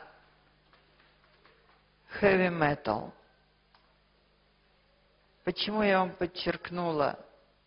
Не рок-н-ролл heavy metal. И когда, иногда проходя вечером э, мимо дома, я слышу, из подвала доносится эта музыка из какого-то клуба ночного, я знаю, кто там гуляет. Я знаю, это дьявол выкинул свою музыку, чтобы обольщать наших детей. Когда мы спустились самый низ. Это было как приемная перед маленькими дверями. Вначале мне показалось, что я попала между людьми. Потому что это были люди, бизнесмены и бизнес-леди, в костюмах от Версачи и Дольче Кабана, роскошные такие, шикарные, с ноутбуками. Это были нищие, с ранами, в струпьях во всяком э, лохмотье. Там были все сословия. Все сословия, которые есть на земле. Но их объединяло только одно. Их лица. Я не могу сказать лица, мне не хочется сказать э, э, морды. Я даже не знаю, как их назвать. Эти злобные глаза, они грызлись между собой, они толкались, они... Э, там нет мира. Они друг у друга что-то вырывали, что-то оспаривали. Вдруг я смотрю, э, что двое стоят, обнявшись. Я иногда на земле, на остановках вижу таких гомосексуалисты. Это дьявол. Их выкидывают сюда на землю, чтобы они совращали молодежь, а если получится и народ Божий – и видела, как разливают спиртное, как готовятся наркотики. Это все делается там. И мода шьется там. Я была страшно поражена, когда я увидела штаны, которые носит мой сын. Так называемые драные джинсы. Я посмотрела, что у него дырки вроде как на приличных местах. Вроде как. Я не видела в этом ничего, даже когда мне пастор сказал, сестра Таня, в каких штанах ходит ваш сын? Он даже в церковь приходит в этих штанах. Я ему сказала, пастор, будьте проще. Повзрослеет, поменяет штаны. Но я не знала, что эти штаны шиты по шаблонам ада. И они призваны для того, чтобы смутить целомудренных сестричек. И дьяволу это удается. Чтобы мысли непотребные появлялись в чистых головках неискушенных сестричек. И я, мать, я потыкала своему сыну, а он необдуманно, он не собирался совращать сестричек. Он, кстати, у меня и сейчас еще не женат. Младший сын, хотя ему 30 лет. Он мне говорит, что он будет как апостол Павел. Ну да укрепит его Господь. Аминь. Но тогда я ужаснулась. А еще больше я ужаснулась, когда я узнала, шутки всевозможные скобрезные, они тоже придуманы в аду. Как потешались демоны, когда задавали друг другу вопрос, чем пахнет мода. Прочитайте наоборот. Мода. Чем пахнет мода? Адам. И эта шутка оттуда. И за эту шутку один демон вышел на поверхность. Дьяволу она понравилась. Но вот через них всех лезет большущий демон. Он что-то держит в своей лапище. Он буквально идет по головам. На него огрызаются, шипят, но признают его лидерство. Почему? Когда он разжал свою лапищу, я увидела почему. У него в лапе душа. Человеческая душа связанная. Он уловил кого-то. Понимаете? И человек продал душу дьяволу. И вот этот, эта нечисть подошла к этой маленькой дверке. Дверка открылась, и я увидела подножие трона дьявола. Это он за этой дверкой себе сделал тронный зал. А почему маленькая дверка? Потому что, как сказал мне ангел, ему никто не поклонится из его слух. Поэтому он сделал маленькую дверку, прежде чем войти к нему, поклонятся. И он требует, чтобы так и выходили. Задом назад, вот так, пятились. Я не знаю, как выглядит трон дьявола. Мы не заходили туда. Мы не поклонились дьяволу. И слава Богу!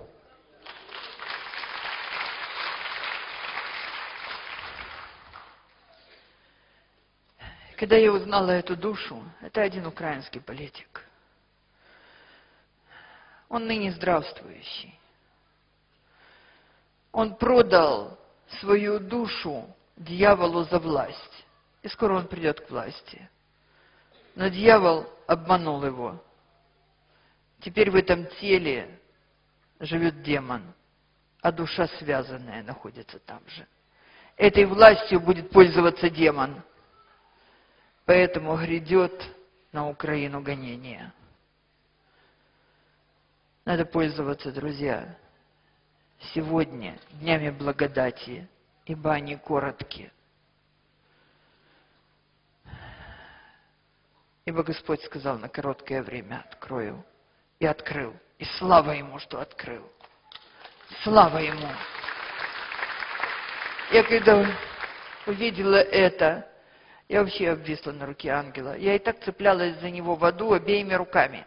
На небесах я все время норовила освободиться от него. Я хотела идти сама. А здесь я вцепилась в него обеими руками, не дай Бог потеряет. Друзья, не дай Бог и тут Господь сказал, достаточно. Она видела достаточно. И мы оказались опять перед стеной мрака. Несмотря на то, что там полыхал жар, мне был, меня знобило. Меня просто знобило.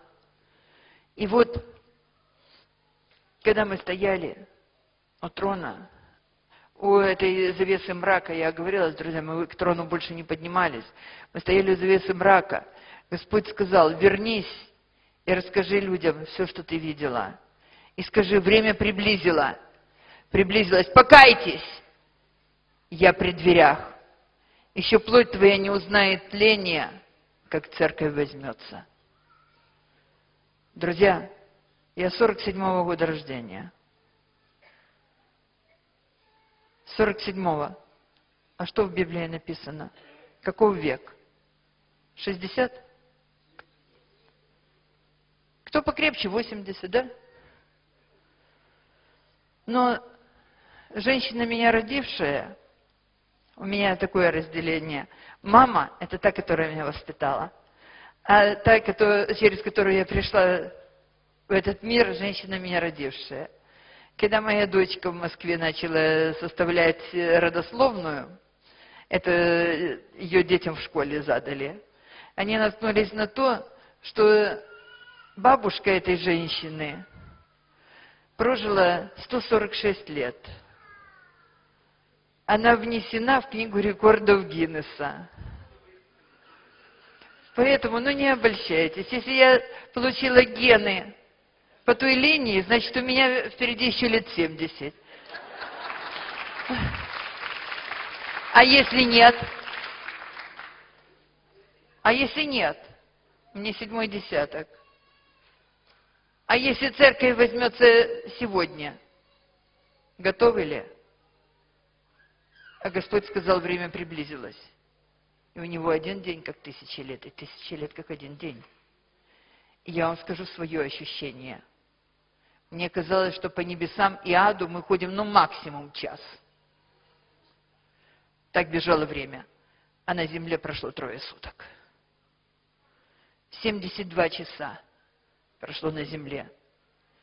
И когда ангел тихонечко подтолкнул меня в плечо, и я переступила завесу мрака и покатилась, как легко и свободно я уходила, как радостно. И с какой болью я возвращалась. Я влетела в свое тело с такой болью, что я закричала. Но я устыдилась. По сравнению с болью ада это не боль. Это так, укус комарика. Я замолчала, мне стало стыдно. Но я услышала, что кричит кто-то другой. Я села, лежать было очень неудобно. Твердо и холодно. Я села, хотела посмотреть, кто кричит, но кожа съехала. Мне операцию, видите, начали делать и не завершили. Но косточки уже выкинули. Поэтому у меня отсутствуют лобные и височные кости. А так как оно еще было не зашито, э, кожа как чулок поехала вниз. Я рукой подняла, но тут поняла, что у меня что живот болит. Опустив глаза, я увидела, что живот тоже разрезан. Я его прикрыла рукой. И в таком вот положении я села и увидела женщина в белом халатике, э, в луже воды, она сидит, ведро перевернуто, в одной руке тряпка, и она почему-то так жалобно глядя на меня, говорит, а, -а, а она уже кричать не может.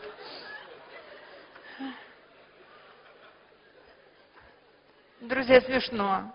А ей было не до смеха. Бедная женщина пришла в понедельник помыть э, зал, что сейчас будут, э, придут студенты, будут делать скрытие, а у нее труп закричал. Еще я ее спрашиваю, ты что кричишь? Лучше бы мне помолчать. Но бедная женщина перевернулась на четвереньки, и поползла к выходу. У нее не хватило сил встать.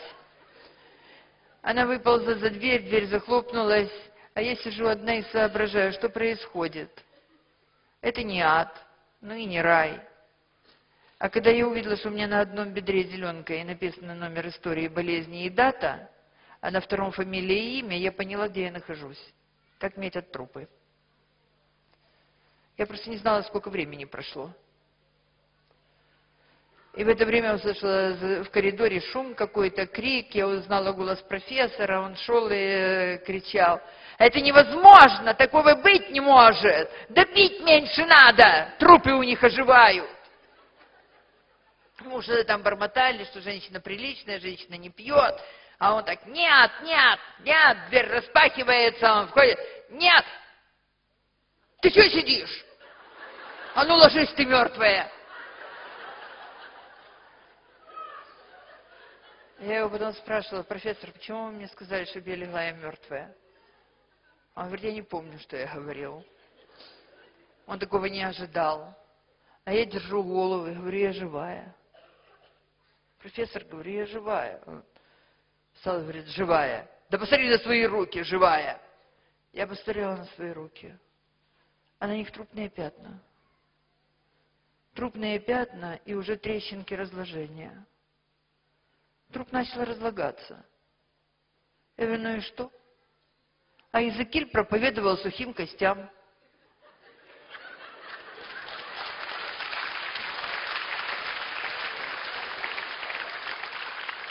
А кости собрались, обросли плотью и стали воины. Профессор посмотрел на меня удивленно, говорит, я не знаю, кто тут Иезекииль. Но такого я и в кошмарном сне не мог подумать. И что теперь с тобой делать? О, Боже! Я говорю, профессор, вы сказали, о, Боже, Бог любит вас. Он говорит, я вижу. Угу. Так что делать с тобой? Я говорю, зашить. У меня рука устала держать. Я говорю, зашить, наверное. Он так обрадовался этому слову, зашить. Ну, друзья, повезли меня. Вначале появились два молодца, одинаково с лица. Оба с фиолетовыми носами и такими разъезжающимися глазками. И они долго решали, кто подойдет, потом они решили ко мне не подходить, толкнули каталку, каталка ударилась об мой стол, в соседний там тоже трупик лежал. И один из них, икая, сделал так, эк, эк. Я говорю, что пересесть? Ну, хорошо, я пересела. Э, там уже была одеялка, я уже завернулась. В одеялко мне уже полегчало. Я говорю, ну что, поехали? Здесь началось второе отделение их концерта. Потому что они чуть не подрались, кто станет в головах, кто в ногах. Каталка медицинская устроена так, что передние колеса направляющие. Поэтому тот, кто впереди, он направляет, а тот, который сзади, он толкает. Но так как они оба стали в ногах, вот так каталка и пошла. Чуть не вывернули меня несколько раз. Наконец мы пересекли двор, ввезли в отделение. Э, лифт открылся, они втолкнули сюда коляску, нажали кнопку, а сами остались снаружи. Лифт поехал. Минут двадцать я каталась в лифте с этажа на этаж. Потому что каждый раз, э, когда кто-то хотел войти в лифт, говорили, о, нет! Почему нет? Наконец, профессор, он же уже зашел в операционную, уже оделся, а ему труп не везут и не везут. Он закричал, да где же этот труп? Ну, говорят, в лифте катается.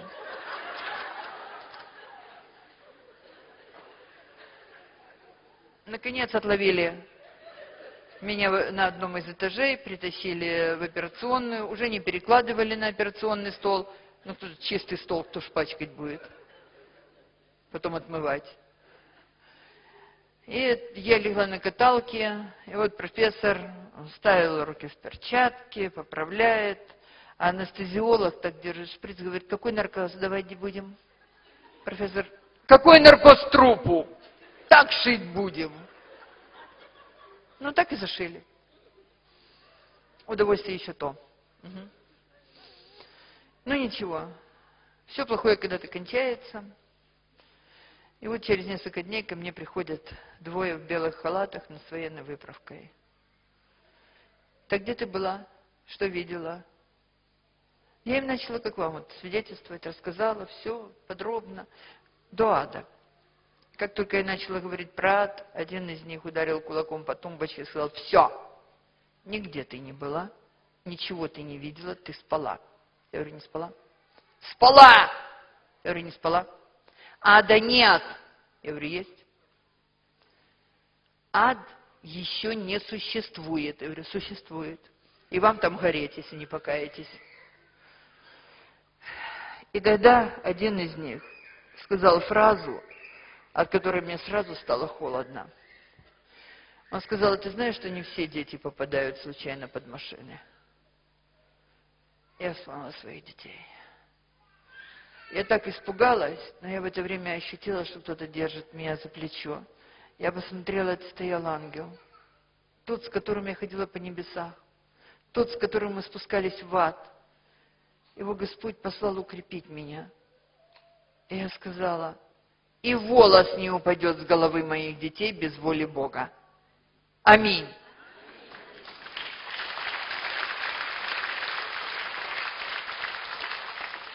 Меня предупредили. Я не послушалась. Конечно, когда меня выписали домой, все село сбежалось. Ну, вон она, могила открытая. И гроб стоит. А я вот живая. Как это может быть? Люди каялись, каялись. Со страху. Сейчас, когда прошло 17 лет, я вам скажу, что и третья не осталось из тех, которые покаялись. Когда покаяние на эмоциях, враг похищает его. Это не покаяние. Надо открыть свое сердце Богу и отдать его. Тогда враг не в состоянии похитить. И вот мы начали свидетельствовать с мужем. Пока мы это э, только в селе делали, враг не обращал на нас внимания. Ну, потеряет он десяток другой душ, это не суть важно. Но нас же мало, я же поехала в Тирасполь. Я начала свидетельствовать там. Муж начал на судах свидетельствовать. И все, нас лишили работы. Но я, меня работы лишили, как только я умерла. На мое место взяли другого человека. Говорит, надо предупреждать надо.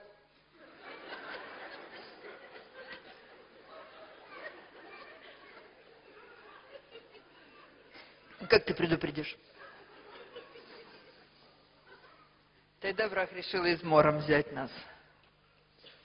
Больше года мы не имели работы. Ни я, ни муж. Он не мог э, даже устроиться матросом второго класса, то есть матросом-уборщиком. Капитан дальнего плавания не мог найти себе работу даже матроса-уборщика. Не доверяли. Вам, говорит, э, нельзя доверять. То вы умираете, то вы оживаете. Ненадежные люди, нет. А мы свидетельствовали. Мы рассказывали, что ад есть, и небеса есть, и милость Божья есть сегодня. И каждый день она обновляется, милость Божья. Аллилуйя!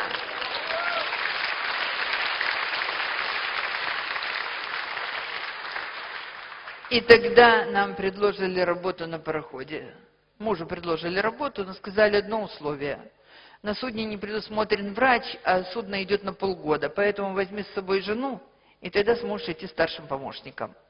А нет, то опять будешь без работы. А знаете, морякам не платят, когда они на берегу. Только когда они в рейсе. Поэтому нужда заглянула к нам крепко в двери. Мы поставили перед церковью эту нужду, чтобы молились, что скажет Господь. И Господь проговорил.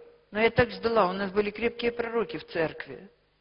Пожилые, крепкие пророки. А Господь выбрал молодого брата. Он только в августе принял водное крещение. А в декабре ему говорит Господь. И он говорит, это я вас посылаю на этот пароход. Вы в, пяти, э, в семи странах, вы засвидетельствуете, вы пройдете еще пять других стран. Потом через огонь проведу вас и верну в державу вашу. Муж говорит, будем соглашаться. А я встала, посмотрела на молодого брата. Я говорю, скромнее, братик, надо быть. Скромнее. Бог ему говорит. Там ему сколько лет в Господе. Что-то мы с ним так это не общаемся. Скромнее надо быть, дорогой брат. Друзья, по прошествии лет я стояла на коленях и просила у него прощения. Потому что это было первое пророчество, в котором употребил его Господь. Он сегодня верный сосуд Божий. Слава Богу! Не спешите ставить под сомнение. Проверьте, истинно ли, сказал Бог через этого человека. А тогда уже выносите свое решение. Я была безрассудна. Мы действительно прошли много стран. В семи странах мы засвидетельствовали. Когда уже было засвидетельствовано в пяти странах, на судно пришел приказ нас выкинуть за борт. Кто спасет через сутки Индийский океан, и нас выкинут в море. Вода и небо, все. А Господь и туда прислал свое дитя.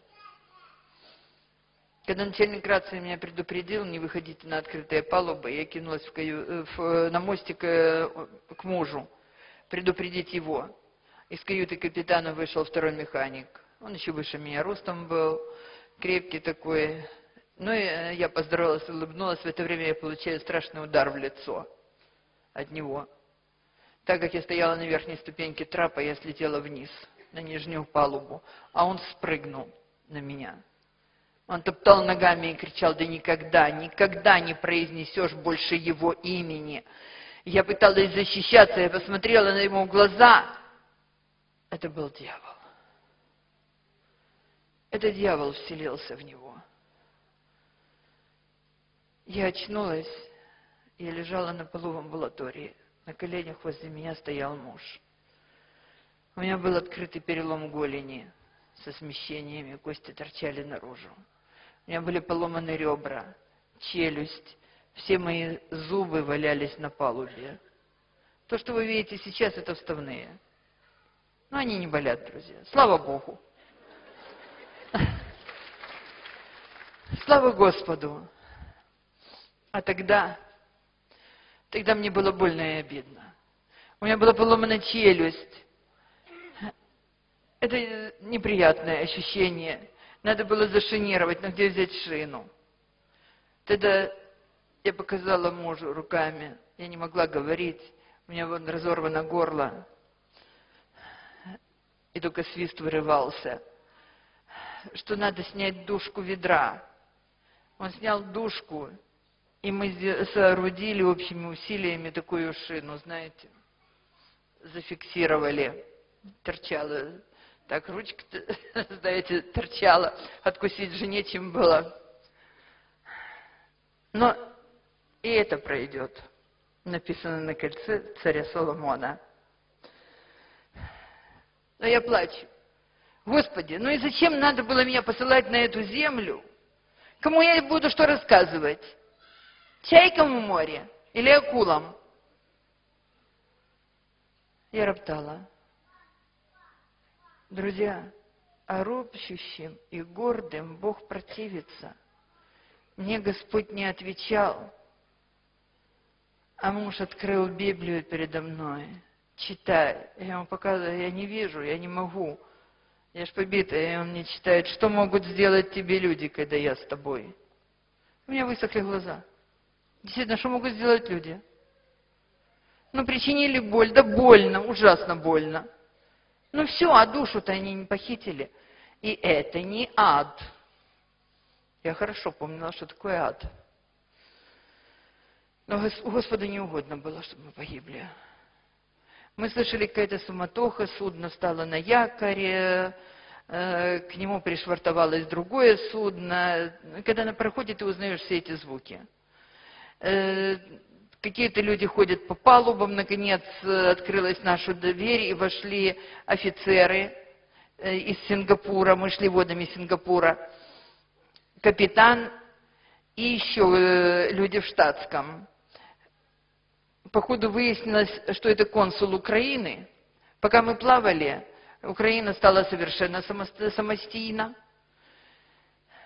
Мы граждане без гражданства, потому что мы уходили в рейс с э, гражданами Советского Союза, у нас паспорта были граждан СССР. А новый экипаж, который прилетел, они уже украинцы. Поэтому э, консул пришел, первое, что он сделал, он сказал, таких граждан в Украине нет. Это о нас. Ну ничего, мы граждане небес. Слава Богу. Но офицер спросил, что это за люди, почему они избиты. И капитан говорит, да, это старший помощник, его жена врач говорит, они читают вредную книгу, которая делает из них зомби. И вот это они друг друга так волтузят. Приносят жертву. Офицер посмотрел и говорит, капитан, я вам не поверю. Но то, что мужчина, допустим, может избить так женщину, я согласен. Но что избитая, поломанная женщина отлупасит мужчину, извините. Позвольте вам не поверить. И он обратился к моему мужу. Он говорил по-английски. Он спросил, вы кто вы? Муж сказал, мы христиане-пятидесятники. Он говорит, а какую же книгу вы читаете? Муж протянул ему Библию на английском языке. Тот открыл и говорит, капитан, it is Holy Bible. Это святая Библия, капитан, она не делает зомби. Да и аминь.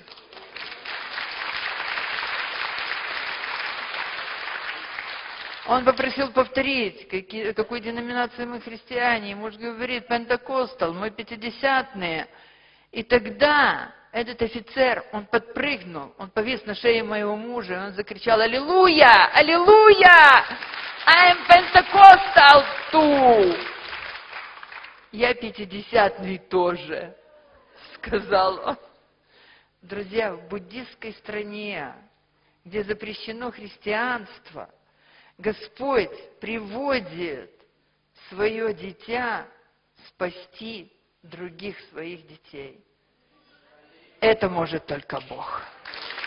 Слава Ему!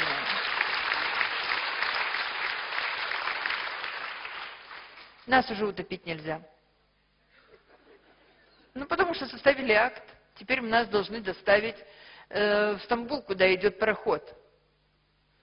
Три с половиной недели э, переход через Индийский океан. Нам не давали еды. Воду нам перекрыть не могли, потому что над э, амбулаторией каюта капитана. А капитан не привык жить без воды. Поэтому вода была и у нас. Слава Богу. Хотя нас могли кинуть и в трюм, и в любую свободную каюту, даже в каюту Старпома. Было место.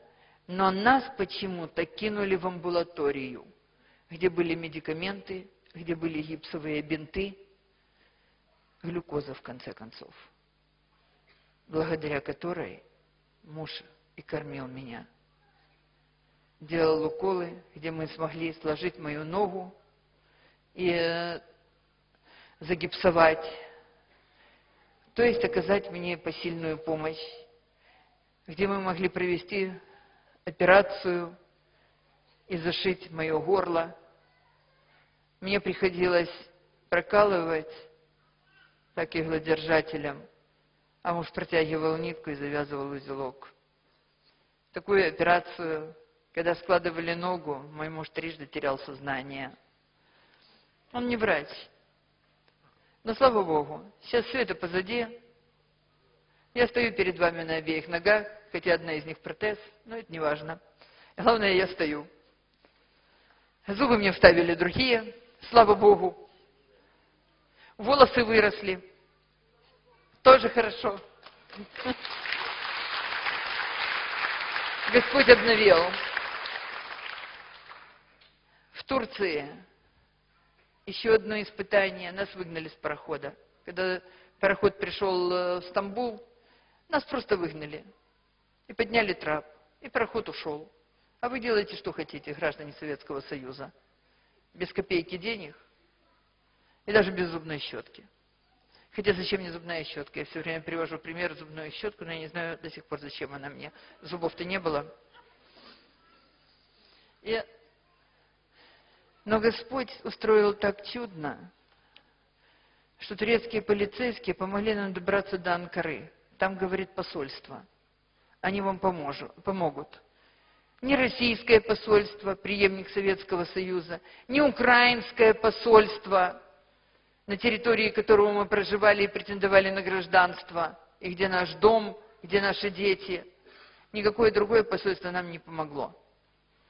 15 дней мы провели на улице, ничего не ели, кроме э, снега.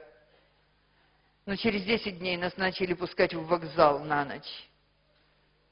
Друзья, вы не представляете, какая, какое это блаженство, какая это радость лечь на полу на вокзале. Это счастье. Прислониться спиной к теплой батарее.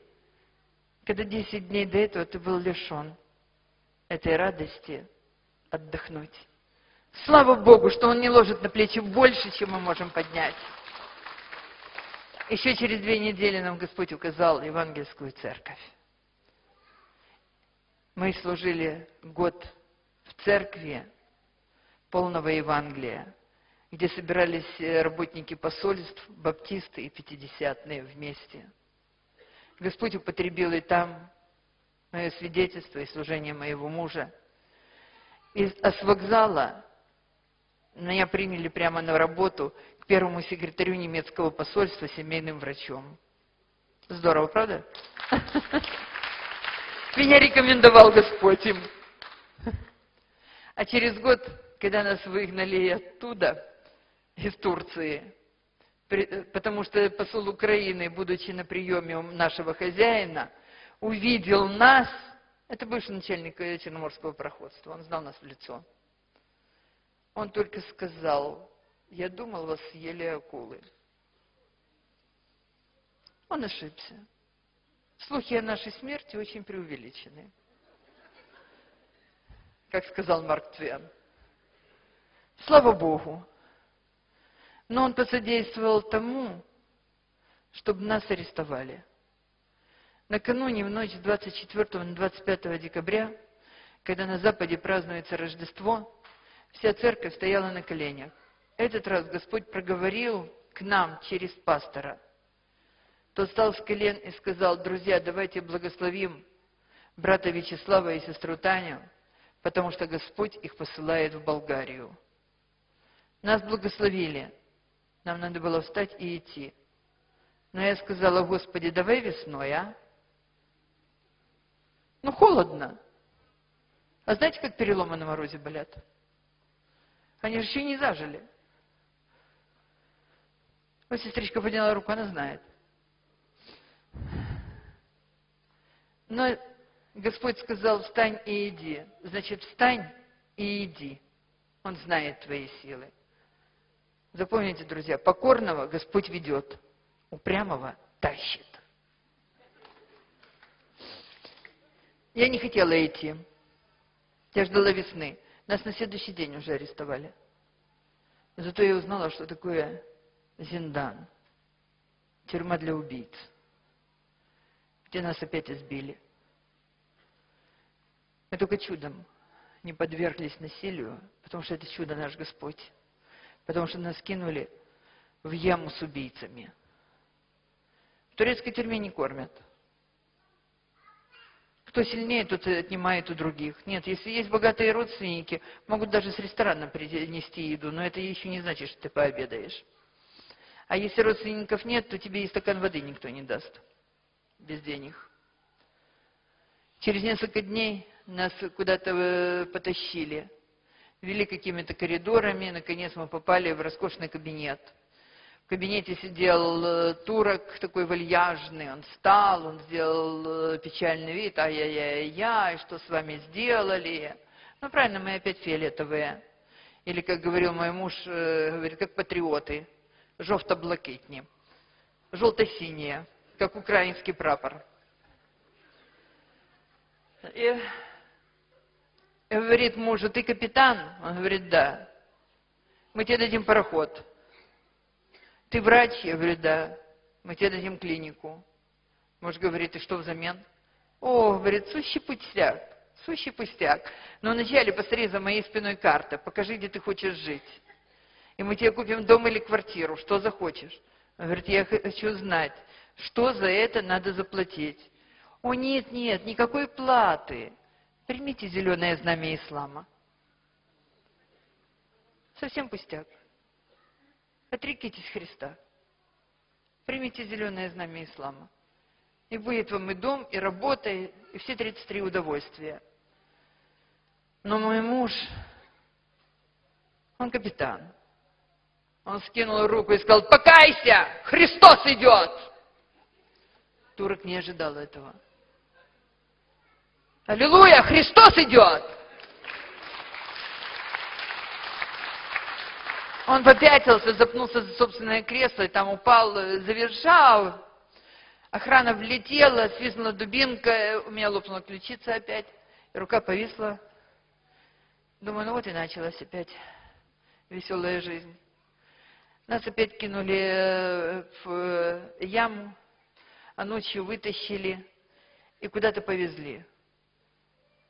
И вы знаете, такая радость нас охватила, такая радость, что мы начали петь. И мы пели Богу с мужем, мы пели.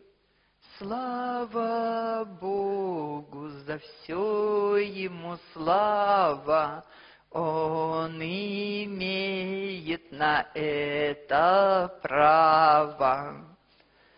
Мы пели, мы пели «Слава Богу за все даяния», «Слава Богу за все страдания», «Слава Богу за многие милости», что помог христианами вырасти. Мы так радовались, что турки удивились, чему вы радуетесь. Мы вас везем на расстрел. Мы же, говорит, тому и радуемся. И мы запели – Птички Божьи домой собирайтесь, Вам к отлету настала пора. Они на нас посмотрели удивленно, говорят, ну нет, мы вас не расстреляем. Мы такое сейчас вам сделаем. Ну, думаю, точно сейчас закопают. Но все равно, Нам пора в небеса, мы пели с мужем. И вот остановился этот микроавтобус, нас вытащили, и говорит, вот смотрите, вот там видите будка? Говорим, ну, видим. Вот идите туда, то Болгария. Куда нас сказал Господь идти?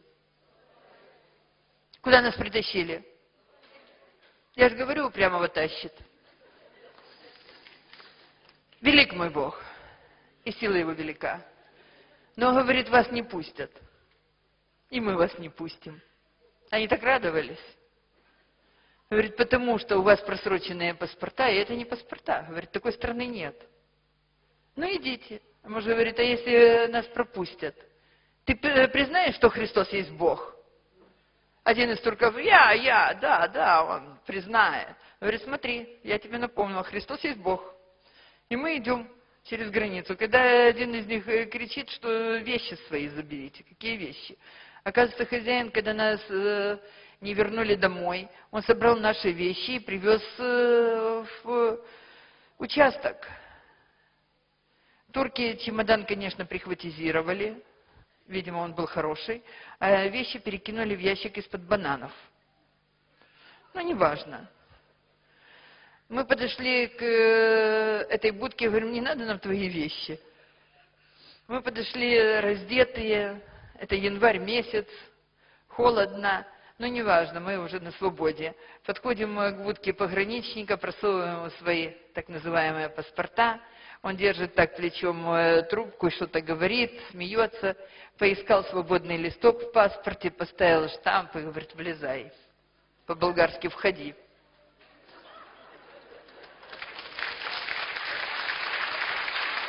Мы взяли свои паспорта и вошли. Влезли. Да, друзья, болгарский язык очень интересный. Русские слова порой звучат э, очень интересно.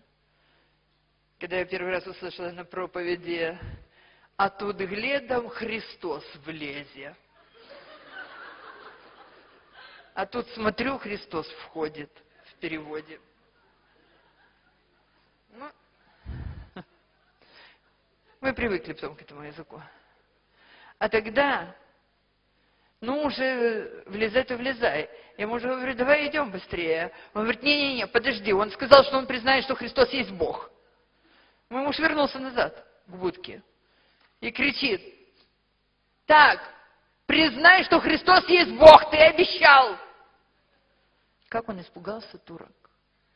Он побежал, Он где-то там возле автобуса упал, потом он все-таки влез.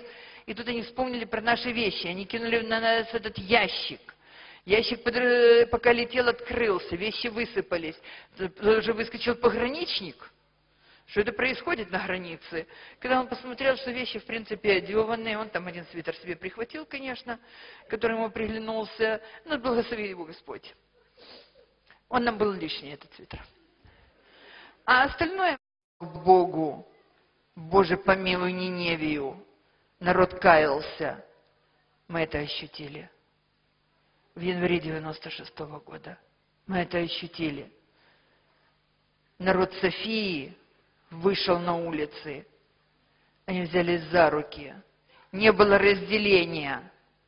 Два православных синода, два католических синода, пять пятидесятных церквей, баптисты, методисты, конгрешане, все исповедовавшие Христа, распятого и воскресшего, вышли на улицы. На каждом углу стоял служитель с Библией и читал про Ниневию. А народ, держась за руки, подняв их к небу, пел «Бог да пази Болгария, хора вдихне терце, Бог да пази Болгария, хора молетесе». Боже, спаси Болгарию! Народ поднял руки к Тебе. Боже, спаси Болгарию, народ Твой молится. И Бог спас Болгарию. Танки развернулись и ушли, не сделав ни одного выстрела. Не пролилась ни одна капля крови. Революция закончилась в Болгарии. Слава Богу! Много может молитва праведного. Так сказано в Слове Божьем. И я свидетель того, что сделала молитва, молитва праведников в Софии. Бог услышал. Все, жизнь в Болгарии пошла своим чередом. Мы уже служили в церкви с мужем. Через него я уже начинаю быстрее, друзья, время много. Мы приближаемся к развязке. Болгария седьмая страна, где мы свидетельствовали о том, что сделал нам Господь. Через моего мужа Господь создал болгарскую Божью церковь, русскоговорящую, где мой муж был рукоположен пастором. Слава Богу!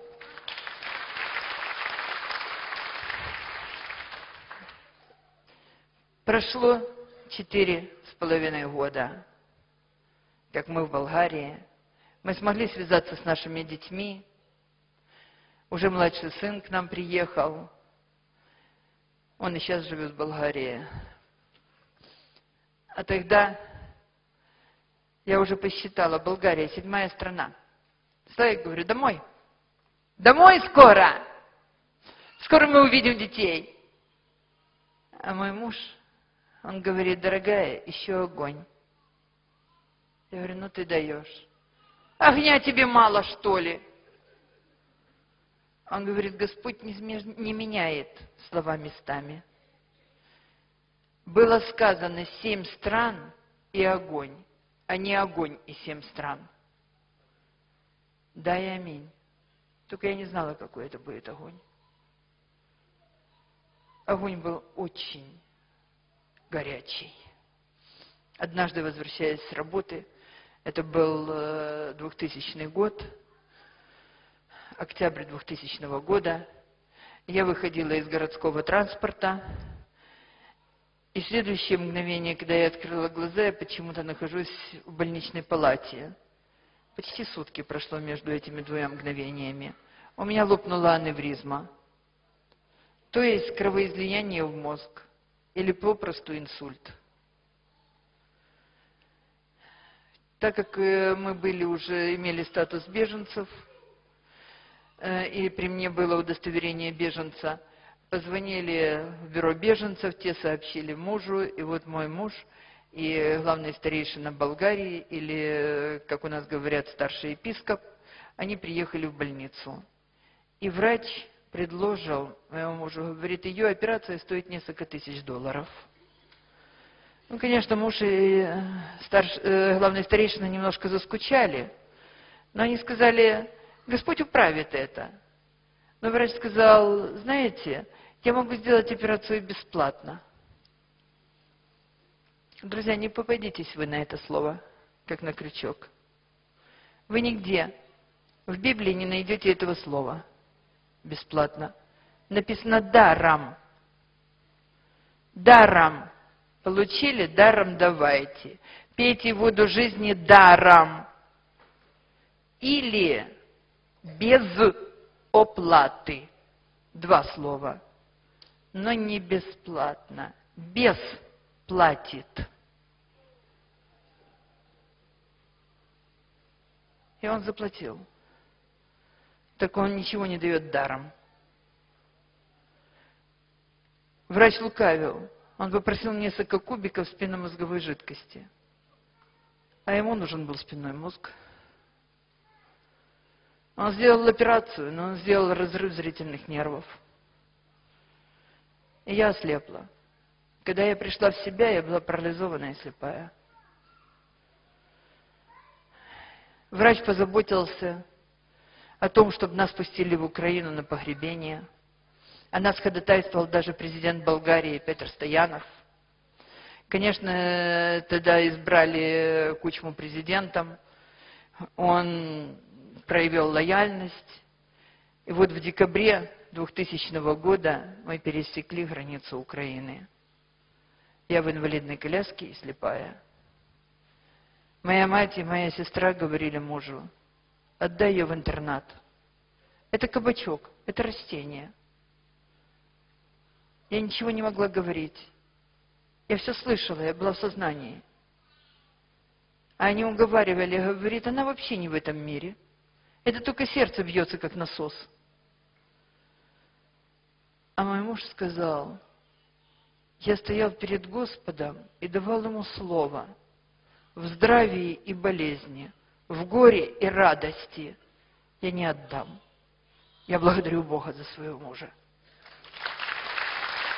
Слава Богу, что Он мне дал такую опору в жизни. Четыре года. Четыре года я провела в инвалидном кресле. Семь лет полной темноты.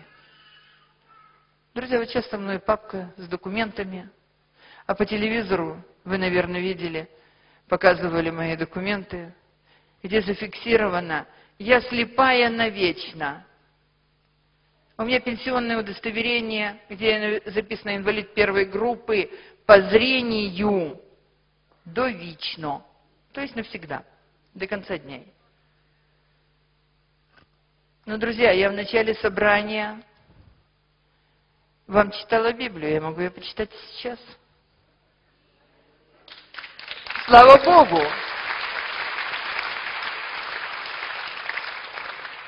Правда, я сейчас нахожусь на той стадии, что туда вот вглубь я вижу в тумане. Я вижу, что там э, в дверях стоит, по-моему, девушка в брючках. Сейчас я уточню. Да, точно. Слава Богу.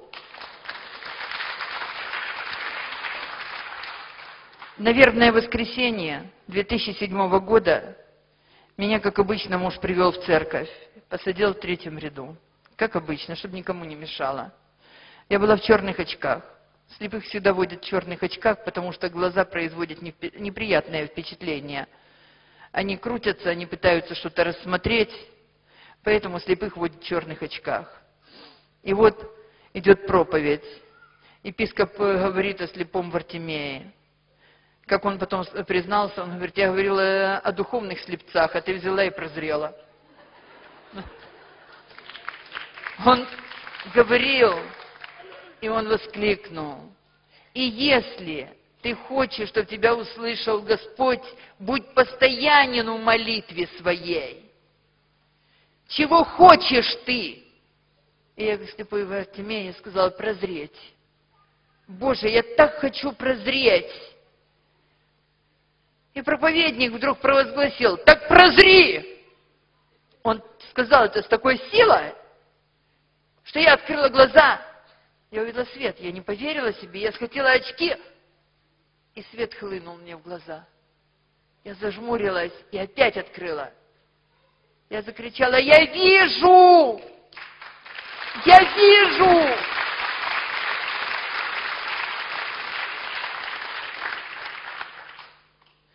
Епископ спрыгнул с кафедры, подошел ко мне и спрашивает, ты что видишь? Я говорю, вас, Петр Владимирович, вижу. Он замер и говорит, а галстук какого цвета? Я говорю, желтый. И тогда он закричал, аллилуйя! Аллилуйя! Да, друзья, он мне вывел вперед и дал Библию. Я, когда начала читать, я поняла, что я вижу только одним глазом. Я села возле мужа и говорю, я вижу одним глазом. Он говорит, ты и просила один глаз, надо было два просить. Да, действительно, я когда молилась, я говорила, Господи, ну дай мне хотя бы один глаз. Ну я не прошу у тебя два, ну дай мне хотя бы один глаз, ну дай полглаза, Господи, чтобы только я могла читать Слово Твое. Что просила, то получила. Второй глаз я получила через четыре месяца. Слава Господу!